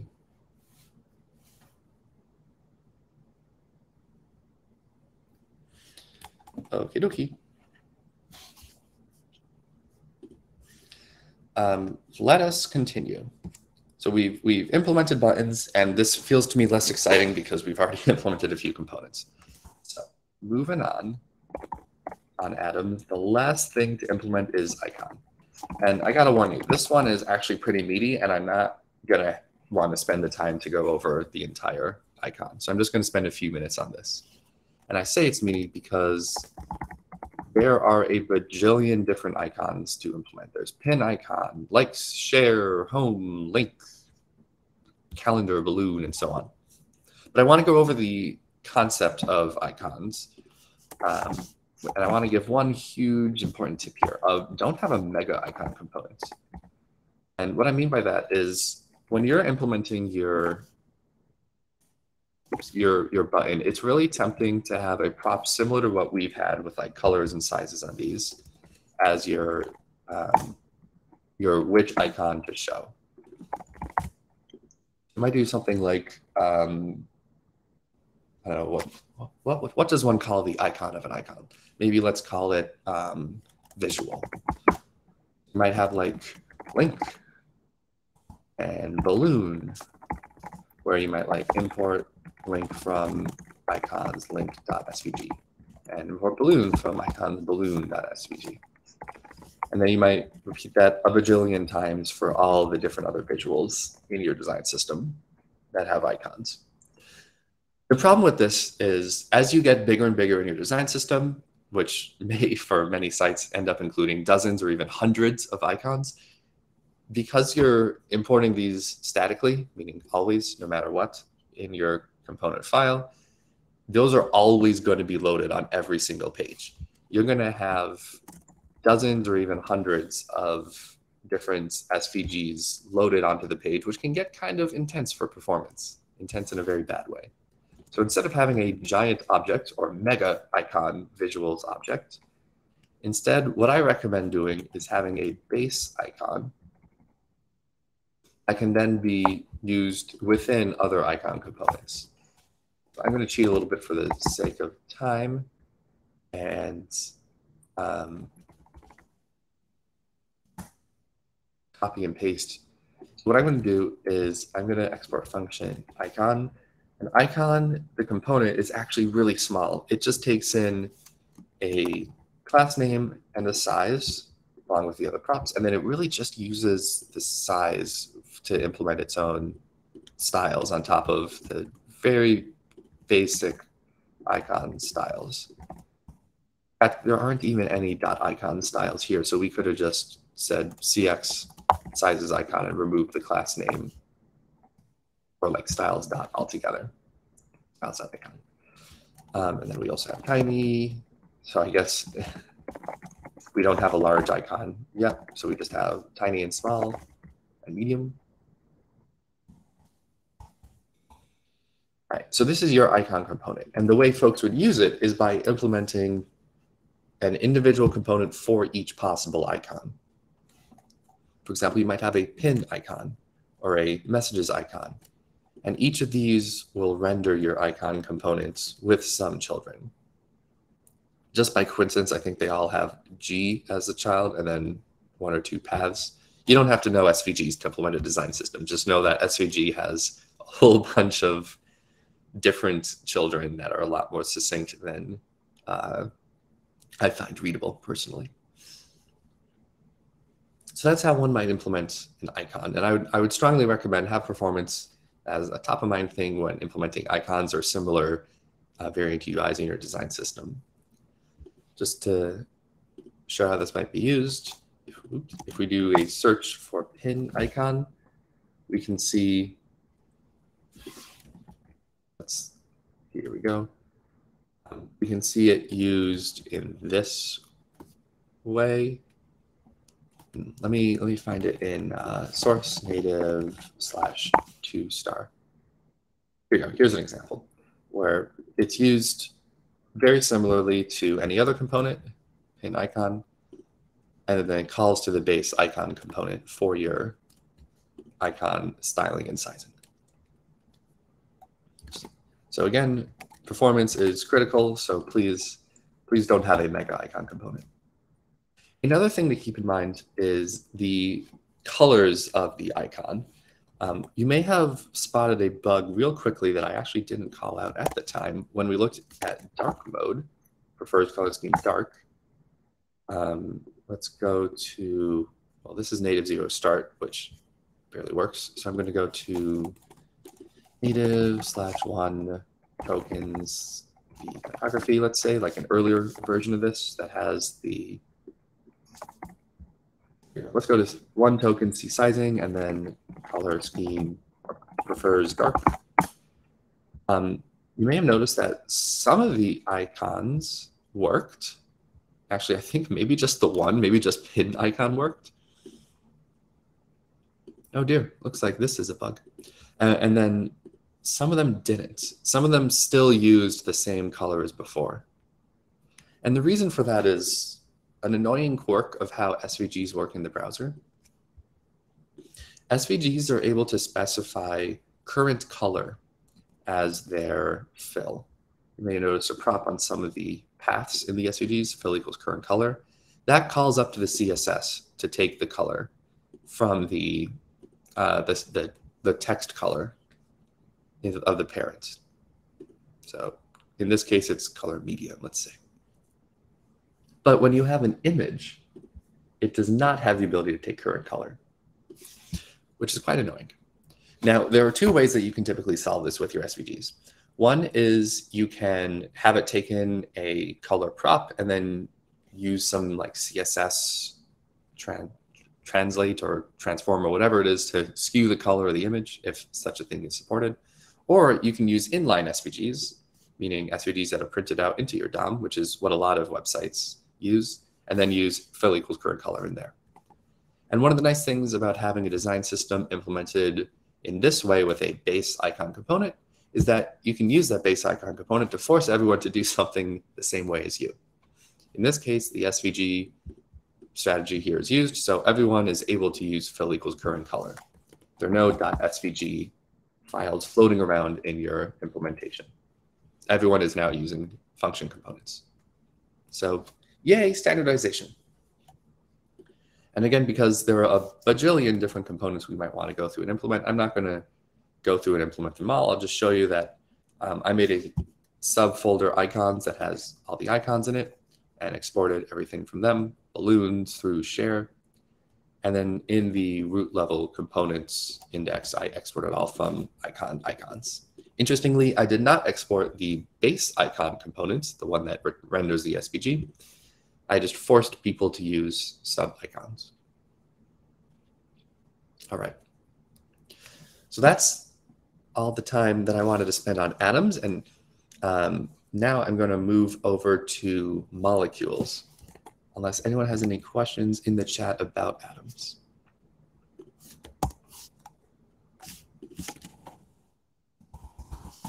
I do prefer light here. Curious why this one is uh, ah, tweeter name still using black. Missed that in the final replaces. Thanks, Glenn. I appreciate you. All right. Atoms are the docs icon. Atoms are the core building block of your block components. They're the smallest unit of components. They can't be broken down at all. So an atom would be something like um, a button, uh, a link, stuff like that. As the name suggests, molecules molecules are combinations of atoms. They're still small, low-level components, oftentimes, or they're oftentimes still small, low components. They don't have to be. They don't have to be. They can be larger. Um, so there are two molecules that I've identified in this design. One is the concept of a tweet, because the tweet combines icon, profile photo, text, link, embedded content, and so on. And arguably, a, a, tweet could be considered the next level up. It could be considered a template. Um, it's template, right? I always forget what comes after. Sorry, an organism. a tweet could be considered an organism. But in this case, I think because we don't have any other organisms in the design, I'm not going to bog down timing with that. The other one is this friend on the right here, this right sidebar heading with content thing. I'm going to start with that because it's quite a bit simpler than the tweets. Both of these have a lot of the same styles. They have a border radius um, of an area that has this very faint or light gray background. And then they have this super duper bold heading at the top left of it with some padding around the contents. So similar to how we implemented atoms before, we're going to go ahead and implement this molecule in our design system. So first up, suggested contents.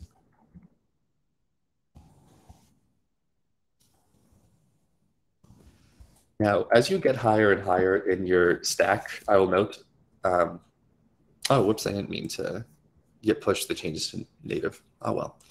Um, I'll undo that later. Um, as you get higher and higher, the names might get a little less small, a little more verbose.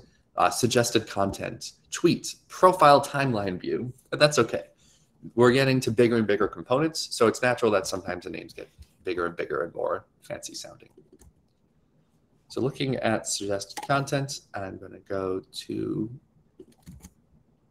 my components again, suggested content, copy and paste my one of my simple components. I'm just going to copy and paste link.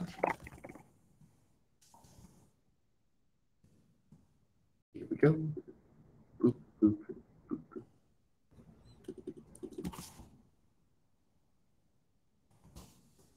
All right, div, which has styles.suggested content.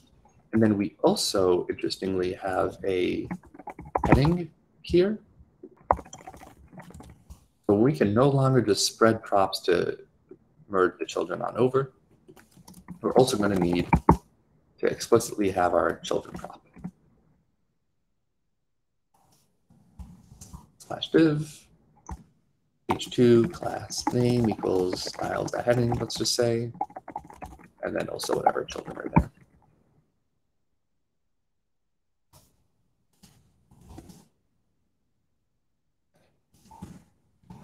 CSS doesn't have slash slash comments at all.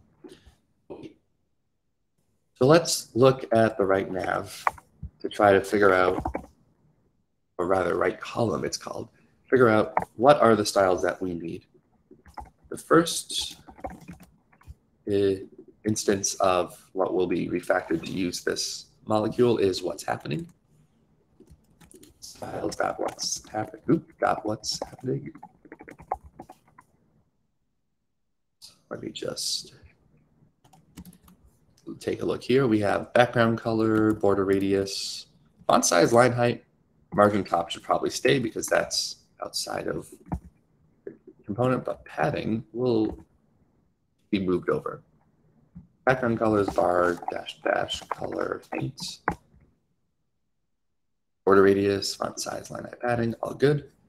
And then the heading for it, which is this what's happening heading, we do care about font size, weight, and line height. And you know what? We care about everything. So let's just move that over. Great. So we can say what are suggested contents, getting it from components, and then add in the heading prop of what's happening. Voila, we get to delete that H2 element that was in the code.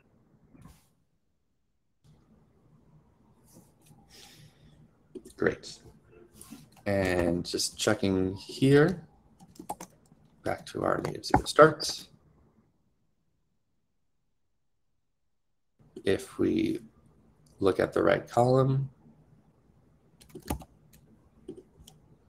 suggested contents.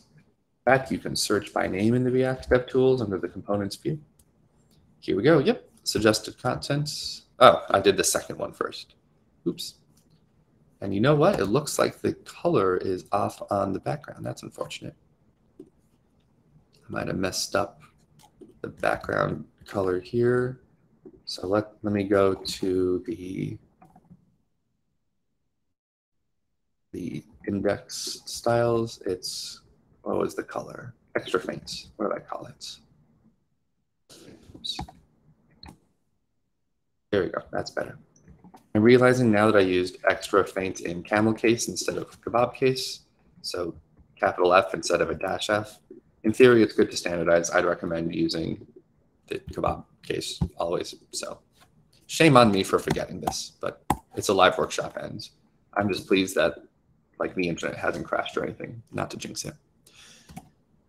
All right. So I'm going to continue and go to the first of the two, second to be implemented, you might like, which is, here we go, dot you might like, and you might like heading.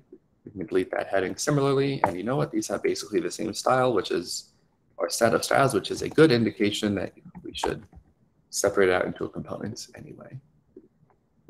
So heading equals you might like, and if becomes suggested content. Okie dokie. Here we go. Yep, there it is, suggested content. Great. So we have implemented and used our first molecule in our design system. Yay. Good stuff. Let me know.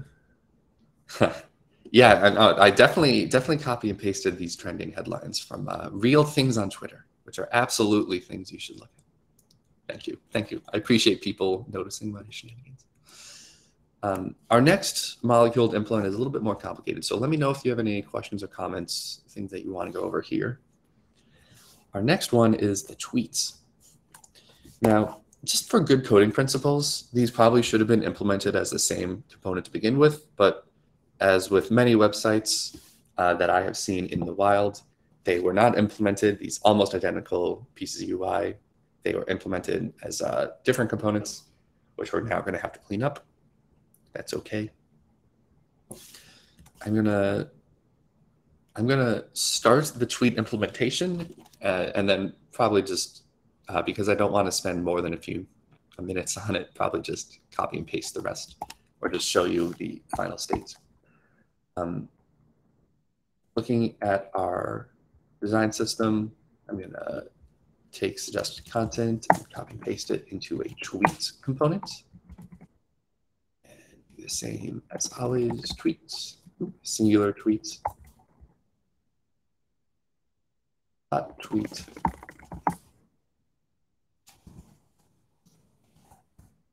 And oops.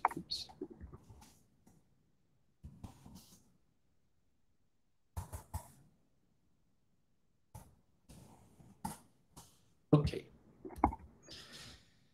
Ooh, so this one's going to have a lot of stuff in it.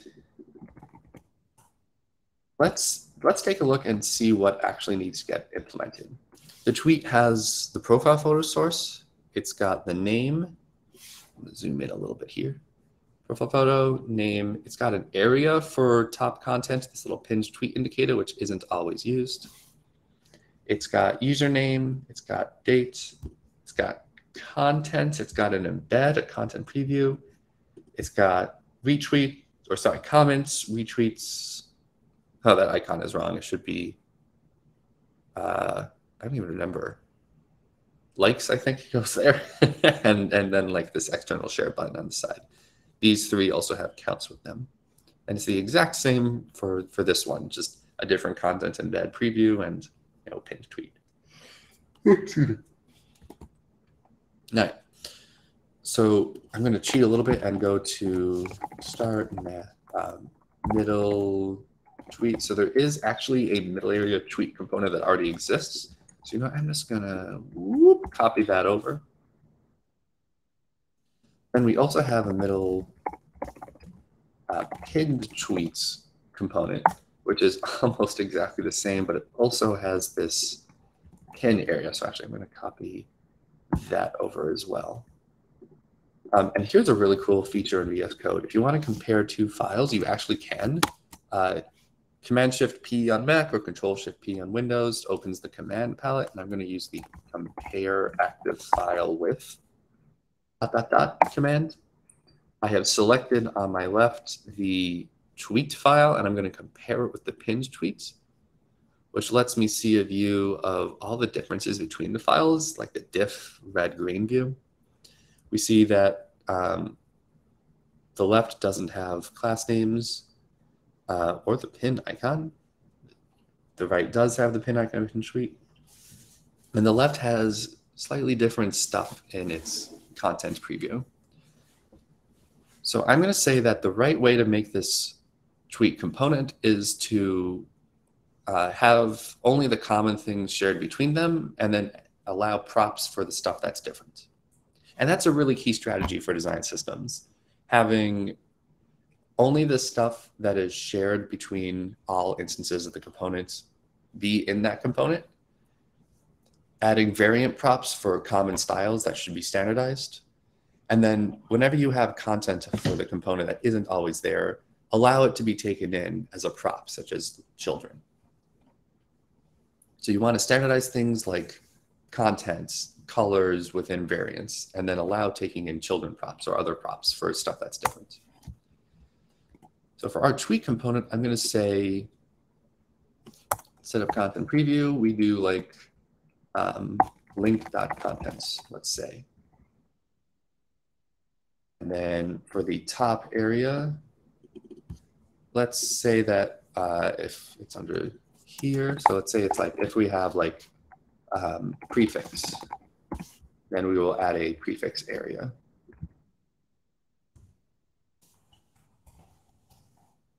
Includes this prefix prop. Prefix is a prop that we take in. So now we can move CX from class names. I guess we don't need it anymore. Although actually it's really common to still want it because we want to be able to let people specify margins and other important things in class names. So we'll CX class name prop, which is common for components in a design system. And all right, we have actually extracted out, oh, oops, I was editing the wrong file. I meant to put it over here. We have extracted out our tweet component. And in the interest of time, I'm not going to, uh, I'm not going to, actually, I might have undone too far. Yep. Oh, no, we're good. Um, in the interest of time, I'm not going to implement it, but I will show you the end result from implementing it. Um, let me just save that.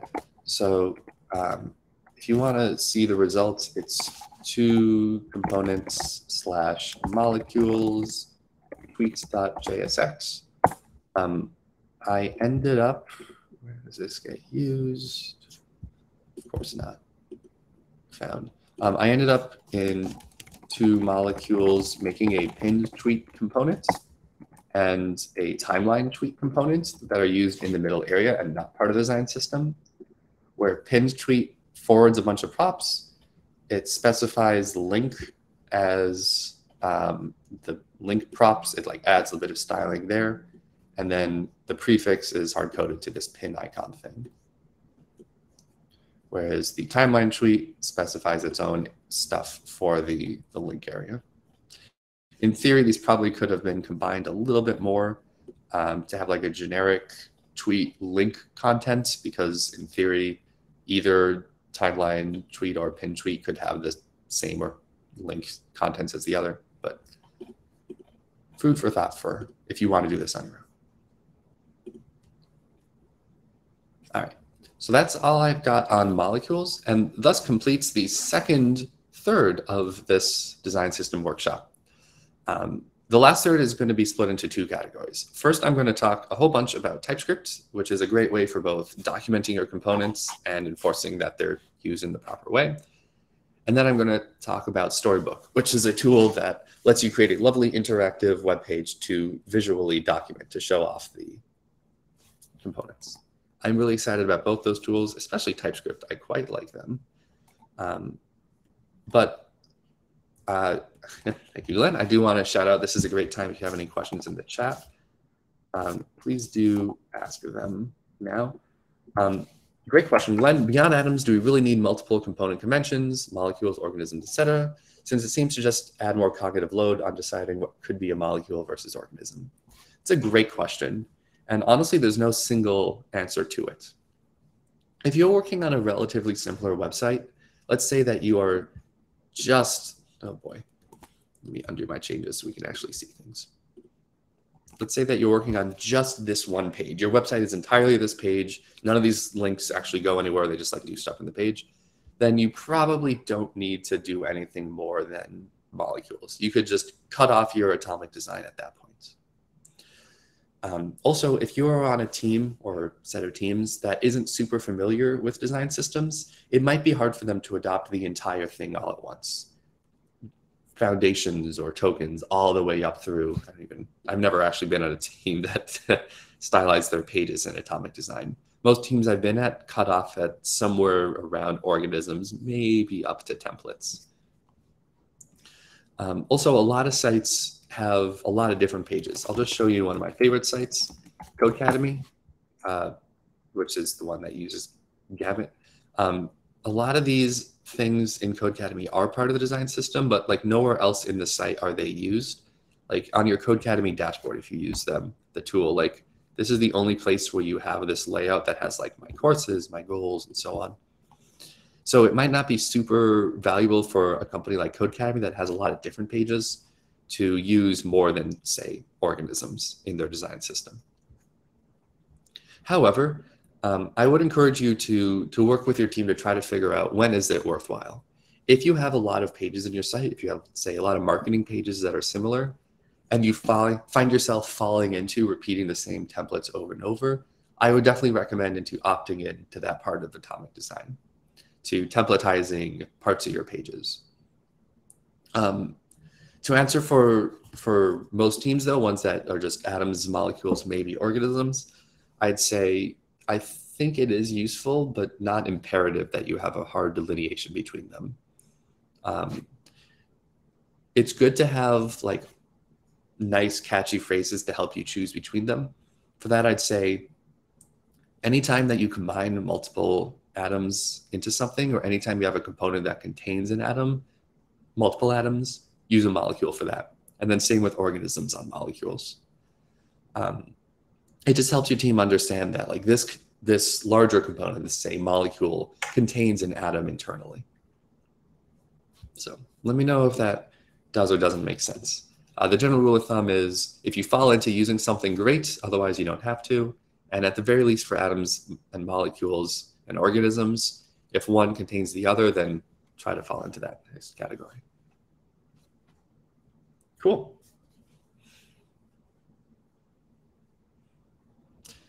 All right. Any other questions on atoms or molecules before we move on to my favorite part of this, TypeScript? All right. I will assume that's a no, but we can always go back if y'all need. Let's talk TypeScript. Everything that we've done so far has been in JSX files. And we've seen that the documentation via the editor, so the developer tools experience, has been okay, but not great here. For example, if I wanted to import something from components, sometimes it would work. If I wanted to add a suggested, let's say I wasn't using button yet. If I wanted to add, say, a button here, it might take from components, it might take from somewhere else. If I do add the button from, let's just assume the right place, doesn't let me know like which props are required, like size required. Um, if I'm adding like profile photo, it doesn't let me know whether like bordered or size are required props. And also it doesn't know what type the props are supposed to be. Here we see that it's size any, which is the TypeScript term for, it could be anything, I don't know. Fun fact, TypeScript is what powers a lot of the developer tooling for JavaScript and VS Code and other editors. Same with bordered in profile photo. What is it supposed to be? Heck if I know. That's unfortunate. Fortunately, TypeScript provides us with this wonderful way to set things up. And there are a couple steps uh, that we want to do, but first, to, to summarize, TypeScript is a language that adds type, type annotations ways to specify what shapes things are supposed to be to JavaScript. Now, specifically and more technically speaking, TypeScript is a superset of JavaScript, meaning it includes all the existing JavaScript syntax plus more. Now, I'm not going to go too deep into TypeScript because we this is a workshop about design systems, not a workshop on TypeScript. So if you really want to deep dive on TypeScript, hit me up on Twitter or uh, elsewhere. I'm sure there's got to be at least one other good talk happening this month or workshop this month on Twitter, or pardon me, on TypeScript. I also, shameless plug, wrote a book called Learning TypeScript. So if you want to uh, want to learn and you like books, I recommend that. Uh, it's a great book, I think. But um, I'll just breeze over some of the configuration that's already set up in this repo um, so that you can get started using TypeScript in this repo if you want. Uh, tsconfig.json, the configuration file for TypeScript projects. Um, it has a few areas that are important. Um, compiler options specify settings for just settings for um, how to read code and output JavaScript, and then include uh, includes which files we'll look at. There are other parts of the tsconfig you can add, but they're not needed here. Um, I've just included a few basic compiler options for this workshop. There are actually like over 100 compiler options you can choose from, which is because JavaScript has a lot of different ways to be configured. Um, but fortunately, we don't, we don't need to look at most of them for most projects. ES module interop um, tells TypeScript we're in a build system that plays nicely between CommonJS modules and the ECMAScript modules. Uh, if you if you've never had the pleasure of trying to wrangle JavaScript build systems before and thus had the pain of working with ES modules, consider yourself lucky. Eventually, the whole or most of the ecosystem will be using the new import export syntax, which we have been using in our files. But unfortunately, today in 2022, fall, much of the ecosystem still uses CommonJS internally. So that's a whole can of worms that we won't get into. Uh, JSX, um, how we work with JSX syntax, or that we do in the first place. Um, TypeScript does natively support React, Preact, Solid, and other JSX variants. Here, um, preserve um, says um, let the build system, or let the surrounding build system deal with transpilation. Uh, TypeScript actually does include a, uh, a, transpiler. It takes in .ts or .tsx TypeScript files and poops out JavaScript, JS, JSX files. Um, however, we use no emits uh, tells TypeScript not to create uh, JS files alongside sources. Instead, let the surrounding build system deal with it. In fact, if you wanted to, you could do uh, npm run ts or my G TypeScript, and then uh, TSC-W. Um, I personally like npmig TypeScripting um, because it gives me the ability to run TSC, which is a TypeScript compiler, anywhere on my computer without having to install it for project. Um, so if we do TSC-W here, get this nice little real-time TypeScript terminal that tells us as we code if there are any issues. We'll also see issues as red squigglies in the editor, but it's a nice little option. move that down there. Um, we also have, and my uh, indentation is hard. We also have module resolution, um, which is tells TypeScript to use the node, use the node algorithm for resolving where imported stuff comes from. There are other algorithms that it could use, node next and this legacy version. By the way, feel free to ask in the chat if any of these don't make sense. I'm just blazing through them. Um, that is that is like the basics or the foundations of our compiler options. We're telling TypeScript that we're working in a surrounding build system that supports JSX and ES modules really nicely, and it's node based. On top of those, we also have a few more that specifies um, how TypeScript's type checking should work. Uh, lib check. Uh, don't make, but don't check node modules for correctness. We don't have to enable skip lib check, but if someone screwed up in our node modules with the TypeScript typings, we, we shouldn't care. Uh, strict says um, enable all the fun uh, better fun uh, type checking, better fun but optional type checking, um, or type checks for code correctness. TypeScript is very configurable in how strict it is with your code. There are a whole bunch of checks uh, that it can run and by default does not.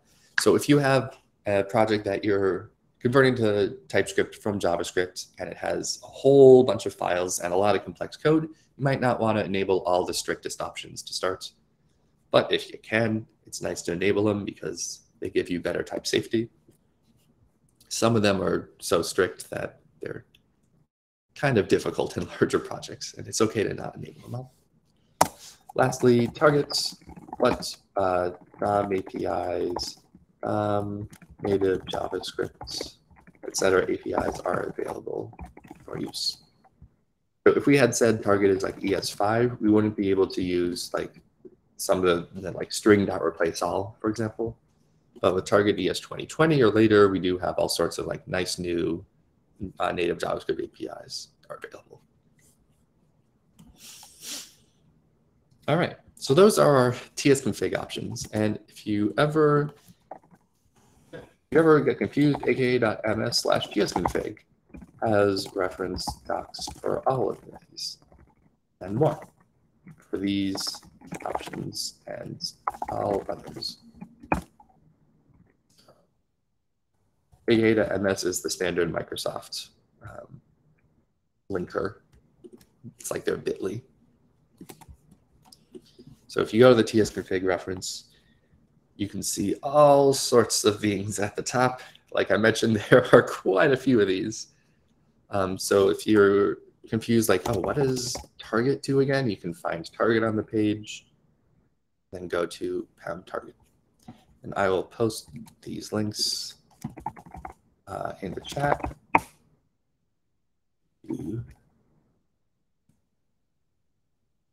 There you go. Um, these are a little out of date sometime. Modern browsers support all ES6 features. Well, actually, modern browsers support ES 2020 and ES 2021, but that's okay. Let me just post these docs up. At this point, if I were you, I'd be getting a little impatient to actually start like converting to TypeScript. So let's do that now. Um, I'm going to convert some components over to TypeScript. The first one I'm going to convert over, I have these in my notes, is content preview. Oh yeah, that's a that's a nice, relatively less complex one. In order to convert a component over from JavaScript to TypeScript, the most important step is to rename the file from JSX to TSX. And immediately we have um, so converting components to convert a component, switch its extension from .jsx to .tsx. And immediately we have this red squiggly complaining binding element class name implicitly has an any type. I gotta warn you, as much as I love TypeScript, sometimes its error messages are weirdly technical and very confusing. In this case, this is nigh unreadable. So I would recommend using TS Error Translator, which is this awesome app that someone else and in Matt in the community wrote that lets excuse me lets you copy and paste an error in, and it gives you a nice plain English version of that error. Oh no. Some oh no, it doesn't have a translation here. Well, in theory, uh, here it works for most errors. I'll just refresh and go back to the initial one. Um, normally, they're actually quite nice as translations. Like if you ever get a conversion of type A to B, maybe a mistake because error, it'll give you like a nice translation of that, like they're not compatible. So that's unfortunate. I thought they used to have this error. Anyway, the reason why is that we have enabled a strict option that says that all attribute, pardon me, all function parameters and variables that can't have their type inferred need a type definition. Now, what does that mean? It means that TypeScript doesn't know what type class name and props are supposed to be. And there's there's no way for TypeScript to know. Our component doesn't say class name is string or optional string or undefined or anything. Um, and TypeScript isn't going to go through and look at all the places that call content preview because that would defeat the purpose of TypeScript. TypeScript is supposed to check whether those places are correct, and it can't tell whether they're correct until you specify to it what is this parameter supposed to be. I mentioned earlier that I'm not going to exhaustively teach you TypeScript. I wish I could, but I don't have the time. So please forgive me for copy and pasting um, this weird bit of syntax here. Um, for the sake of this workshop, you might just have to say, okay, I guess that's how you do it and not go much deeper. Here we are saying that there is a type content preview props, which is the react.anchor HTML element for an anchor element, meaning this props type, this content preview props, refers to the attributes that you could pass to any anchor element in React. Um, as to why there's a separate namespace for anchor HTML attributes instead of just HTML attributes. Um, I don't know, but I've seen type errors from not using anchor HTML elements or part of anchor HTML attributes. So that's just how we're going to deal with it. But the nice intro to TypeScript equivalent here is that once you have defined a type or an interface for something, you can say colon space and indicate that this prop object here is type content preview props. Now, once you have done that, and these are in uh, three dash documentation, three dash documentation slash a dash TypeScript. Um, then you can search for .tsx files such as content preview. Um, now TypeScript knows that class name is string or undefined. That little bar that, or union is how TypeScript says it can be either or, either string or undefined. And one fun little editor shenanigan is if you right click and go to definition or command click on something, it'll take you all the way to where TypeScript uh, understands that type, or that type is defined. And this lovely giant list of things is the HTML attributes interface, which defines all the types available to all HTML elements. Um, interestingly, in React specifically, they've defined default checked and default value for all elements. I don't know why that's the case. That seems wrong to me. Like an anchor shouldn't have default checked in it. That's weird. Uh, otherwise, the standard HTML attributes common to all elements are things like class name, content editable, hidden, and so forth. Cool. Now, again, I, I know I'm going through kind of quickly, but please let me know if there's anything that just like makes no sense and you can't continue it with without understanding. One thing you might have just seen there is that now we get actually much nicer auto completion as we start typing in props. It's a nice little documentation piece. Like as I start typing in class or CLA, I get all the props that have CLA in their name. So like class name, since we already have class name, it's not suggesting it. So like, let me do class name. Here we go. Name equals, and then React will or pardon me, TypeScript will even suggest, hey, it's I know it's a string. Did you mean to write a string there? That's a nice little feature. So a couple couple things to note here. Um, one is that um, I have a DTS file, a types file checked into the repo. I'm just going to delete its contents for a hot moment. Um, by default, TypeScript does not understand uh, framework or build system specifics that aren't native to JavaScript. Therefore, it does not understand the concept of CSS modules. CSS modules is a standard, but it's not part of the JavaScript standard. It's not part of the DOM standard. It's just some community thing that we shenaniganed up at some point in time and have been going with ever since.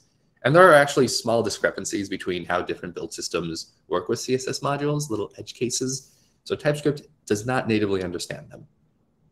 That's why by default, if you create a new TypeScript project or migrate a project to TypeScript that was just JavaScript and use CSS modules and don't do anything specific to them, TypeScript will give you this unhappy thing. You cannot find module dot slash index dot module dot css or its corresponding type declarations. Actually, I'm curious, will the error translator app, oh, oh no, did I lose? Error translator have this? Yes. The translation here, well, there's no explanation yet, so I encourage you to find this on GitHub if you Google it. Um, this could be one of two things. Either CSS couldn't be, doesn't exist on your file system, or I can't find any type declarations for it. Um, by type declarations, what we mean is you need to declare in your type system how these .module.css things work. That's in TypeScript I'm going to declare module star.module.css. So whenever I see star.module CSS, what I actually have are these contents, which styles is a record, so object that has string keys and string values here. That is export defaulted. Alrighty. And now TypeScript no longer has red squigglies. And if we right click, go to definition on styles.content preview, Oh, whoop, not found. Does this work? Here we go. If we right click on styles, and then we get taken to styles.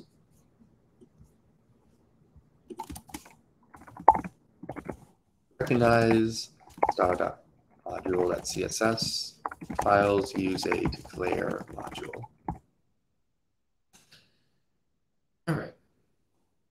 The second thing to go over is uh, by default, TypeScript also does not understand um, foreign modules or packages into node modules.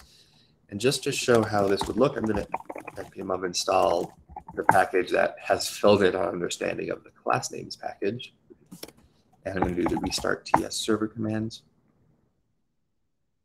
Now I'm guessing, oh, it's still installed. So types, class names. Here we go. Come on. I'm trying to get a red squiggly here, but it's uh, it's uh, not cooperating with me here. Um, let me, I'm going to go ahead and just delete Here we go. All right. So if you similar to how TypeScript doesn't understand CSS modules, it also doesn't understand some JavaScript packages. Um, just having a JavaScript package that has a bunch of JavaScript.js or similar in it isn't enough type information for TypeScript to understand. So TypeScript will uh, give you a complaint when you have the strictest mode enabled saying, hey, I don't know what this is. Uh, it's type any, meaning could be anything. So we hover over CX, we just get import CX. We don't we don't actually know what type it is. If we hover over its variable, we just we get no information. Some packages include .d.ts or declaration files that set things up for them. Like if you have a TypeScript package that's written in TypeScript, you can export DTS files, which are created by TSC. If you don't, then you can go to aka.ms slash types to see if the community has built a package for you post that in the chat.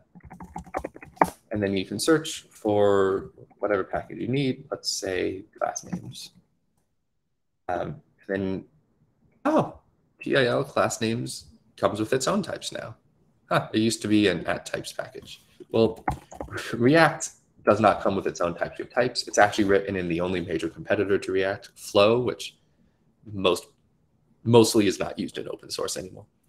Uh, so you have to install a package with the at types prefix that contains the types for it. So npmi at types react. Uh, and then I'm going to save that as a dev dependency. Go ahead and reinstall class names.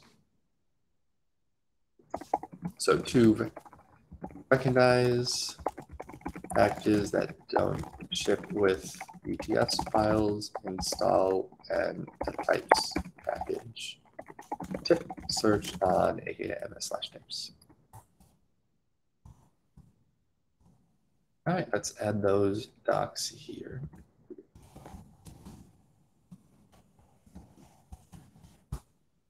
So now just to give you some actual use here, uh, native three star. Uh, I'm going to show that now that we have declared our content preview, oops, content preview components um, as a uh, as a TypeScript component, we can in files that use it get a lot better developer IntelliSense for how it's supposed to work. I'm just going to copy it out in this tweak component, which is also converted to TypeScript. Um, so if we start typing content preview, similar to how you saw in content preview, we get really nice auto completion for the names of things. Style.link, then href equals URL. Do, and let's give it uh, link.contents as children. Here you go. So that's what we had before. That's how a very foundational basic component works in TypeScript. Uh, we declare what the types that it takes in are, and then TypeScript can inform us as we use it what are the actual prop types that we're supposed to be able to use, which is really awesome when you have a type system, sorry, with a design system, uh, especially if you're onboarding new developers and they don't quite know what the required props are and they don't have the time or ability to read through really complex components like molecules and organisms. All right. Let me know in the chat if there are any questions y'all have that you want to ask. Otherwise, I'm just going to keep going.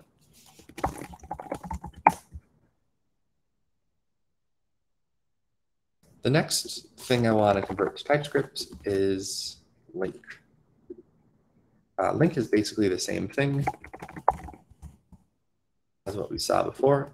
Um, it just uses React.html attributes. Again, I don't know why some of them have their own object under React, some don't. It's, who knows?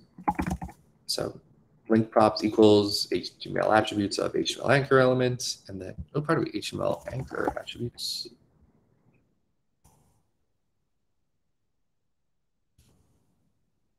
Anchor, there we go, anchor HTML attributes. Cool. Not much new there. Next up, we're going to go to suggested content.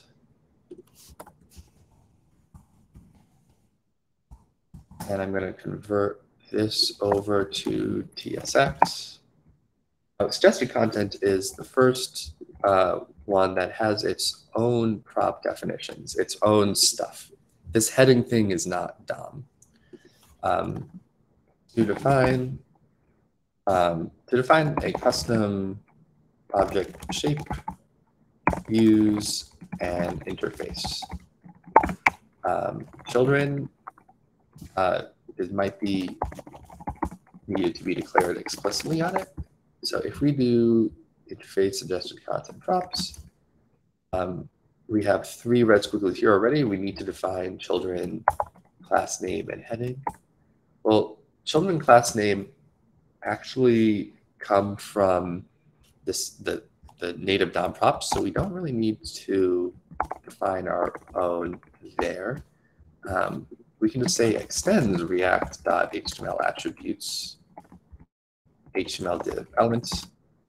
That, that fixes uh, most of them, but then we still need to know what headings type is.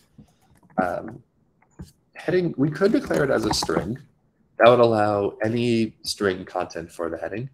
And in fact, when we look in the usage for our right column component, we do see that heading tends to be a string.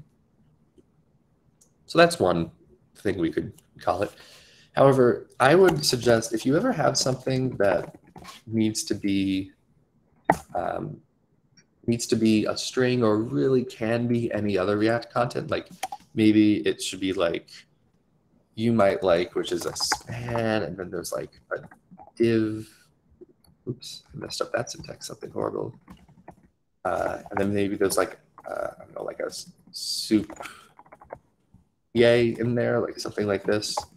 Um, string doesn't cut it. If we type this as a string, then we would get this angry.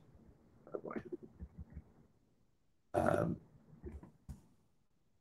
I need to export that place. Um, we would get like this angry little message. Pardon me as I mess around in different files. Angry little message saying like, hey, um, heading, oh no, why is it not complaining? Well, anyway, we might get an angry message saying like, hey, you passed in JSX attributes or elements instead of our React node. So whenever you have something that could be a, any sort of React node, be it a string or a null or like actual JSX, then use the react.react node type. This is the type for any allowed React, React child, string, null, JSX elements, Cool. So let me just push those docs up.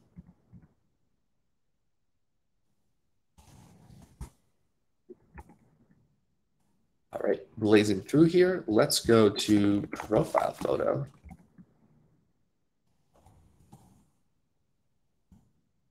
All right, um, I'm going to rename this to TSX. I'm to do the same interface here. Profile photo props. By the way, I've seen some people call things just props in each file, and I would not recommend that because you have a bajillion things that are called props And if you ever have to import and export those interfaces, like to reuse them between files, the way I am with these React attributes, it gets annoying to rename them. So use, use the fully qualified name, profile photo props.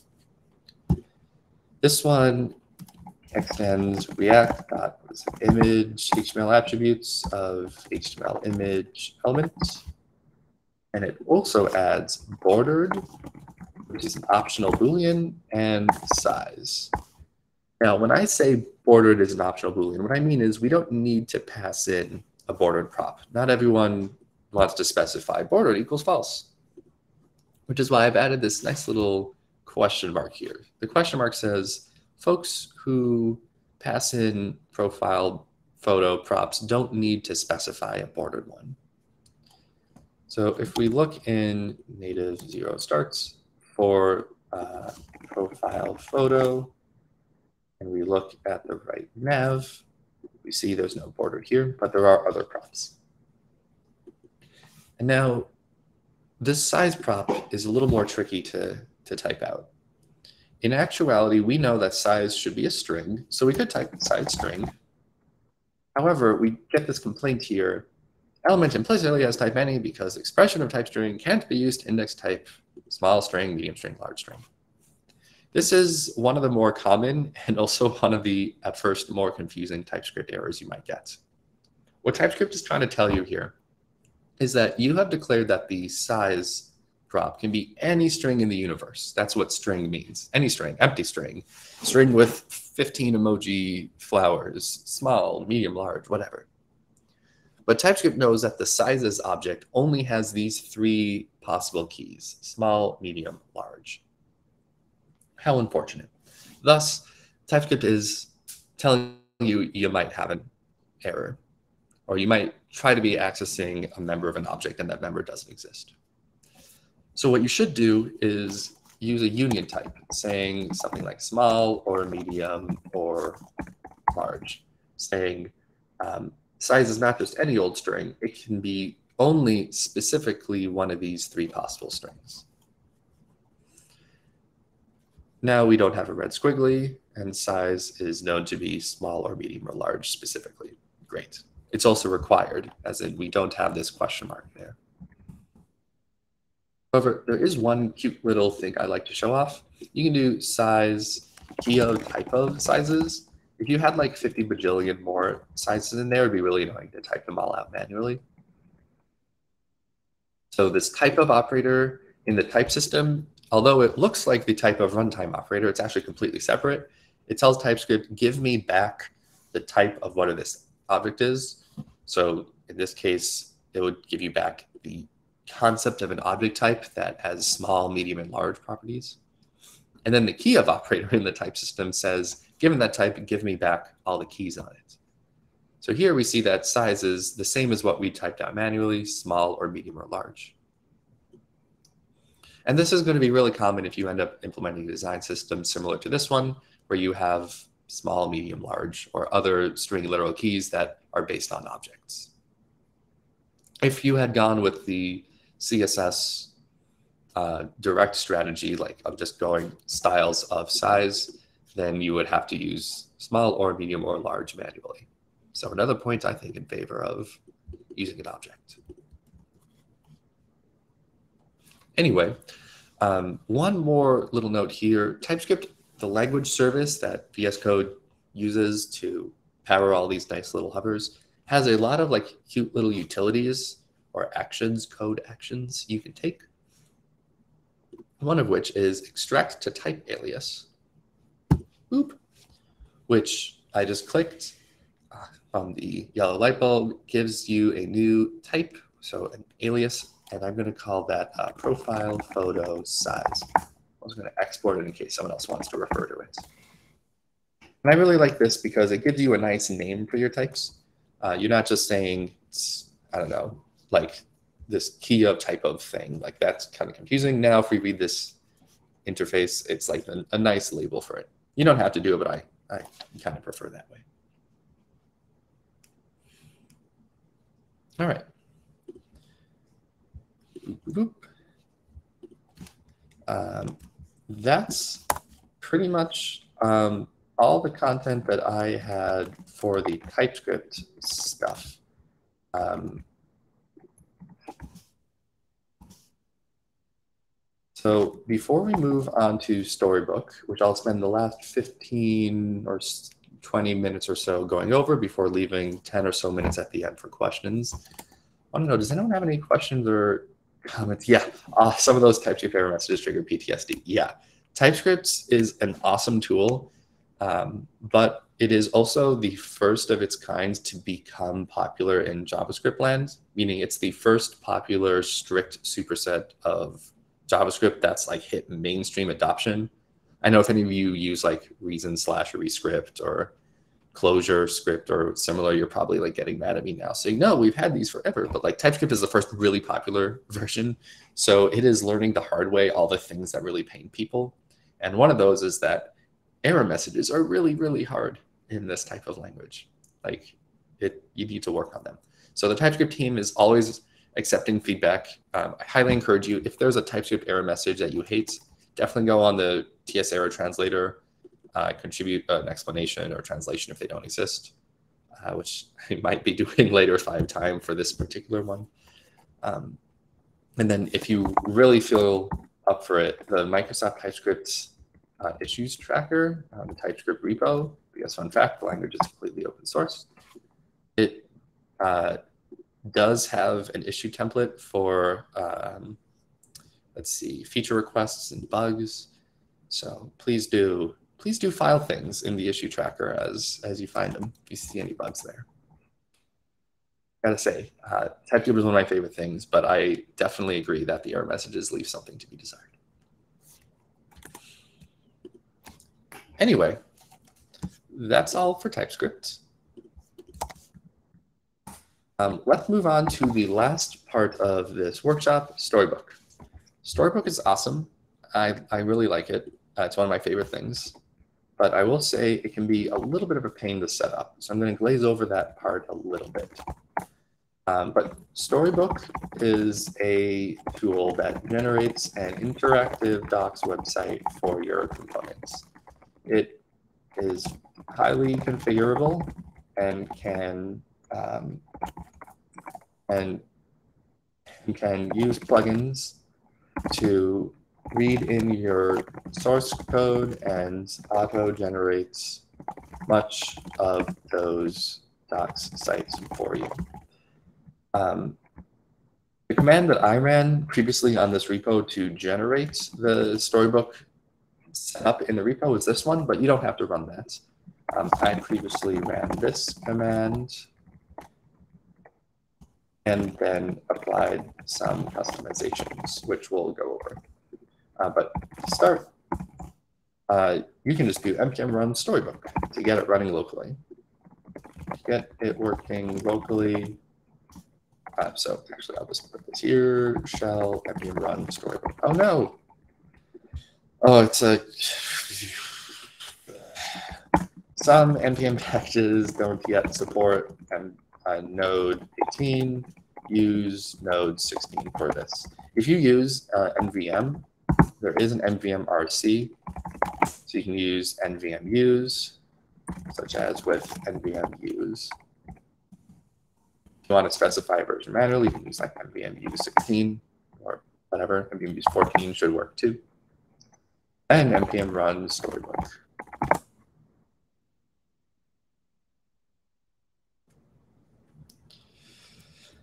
And wait a little bit. Oh boy, here we go. And angry messages in the console. I think they're just warnings. Ooh, look at that fun VS Code bug. Isn't that isn't that nifty? there we go. All right. Oh, anyway, localhost 6006 should open automatically. It only took five to 10 seconds. That's not so terrible.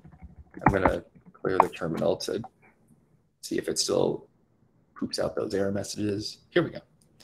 So this is Storybook. You can configure a nice home page. In fact, as you might have seen from the icon, the Gamut site that we looked at earlier is also using Storybook. But um, here are, oh no, it's broke. What broke with it? It was working. Uh, oh, right, right, right. So if you get this error, sorry, I did prepare for this. you install esbuild on another platform than the one you're currently using. This won't work. Um, so tip, if you get this error,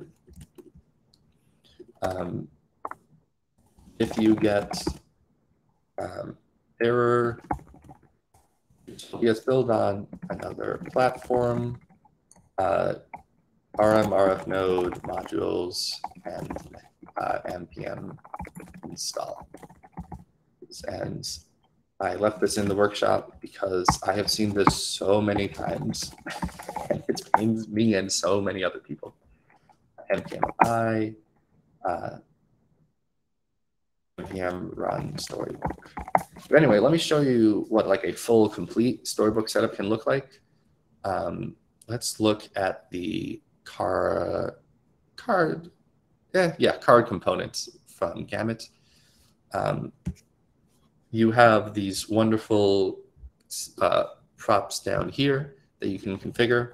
For example, if you want to play around with the children, I just typed in a whole bunch of gibberish and took a little bit, but that's what the card looks like. And then you can switch variants to say like navy or yellow. And a lot of this is auto-generated from the code. We see that it can document the description um, of the, the prop, which is auto-filled when you use TypeScript and a certain TypeScript plugin from the TypeScript props. Um, let's let's add a medium shadow. Ooh, look at that. Very snazzy. Thank you, Codecademy. Just gonna check in, npm install, Ooh, still running. This is the ecosystem we have chosen for ourselves, folks. All right. Building now. Come on, storybook. Loading. Yes. Oh, phew. Curse of the demo. All right. So this is a much more simple storybook, which shows off just the stuff that we've set up. Um, what I've done is I've set up the uh, Storybook uh, DocGen plugin um, in the Storybook settings. So React DocGen TypeScript, which means that it will generate these controls based off the TypeScript props. So if we see profile photo index tsx, uh, the props that it has are bordered, size, and source. And then um, these just automatically get populated in the component and you can play around with it, changing the size, medium, large, tiny, small, ordered, true. There we go. So the way that a story is set up uh, is one of two possible formats.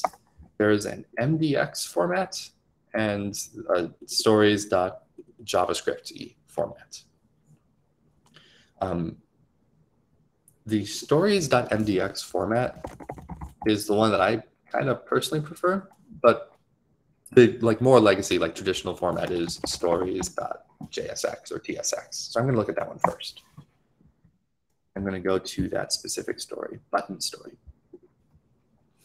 Now this JSX file looks and feels just like any other JavaScript React file that you might use in your React app. It's got the import from components and it's got some exports. And uh, the nice storybook auto templating magic gave us some links to nice storybook docs for us if you want to read more. In this format, the export default object contains, among a plethora of other options, args, component, and title, where component is the actual component being rendered, what goes in the canvas here. The title is the title that we put in the sidebar button, yay and the args are the default props to pass in. These get merged down with the args defined, the props defined on the component. Um, so here we have args color starts off as primary, and Storybook is able to read in our TypeScript type to know that secondary is the other option, which I've been kind of glossing over before, but I really want to emphasize how superbly cool it is that Storybook is able to read in the TypeScript types for a component to auto generate a docs website for it. Like that is mind blowing to me. And in mo more advanced setups, it can even like tell you aliases like theme or CSS object, or just like put in the union of string literal types there. Like if you have a description, like that to me is just mind blowing. So I think this is really cool. um, and then in ours, we can also play around with the children the button. Oops. Hooray, click me place. That's really cool stuff. Um, the story also can have multiple different variants. So like I just called it story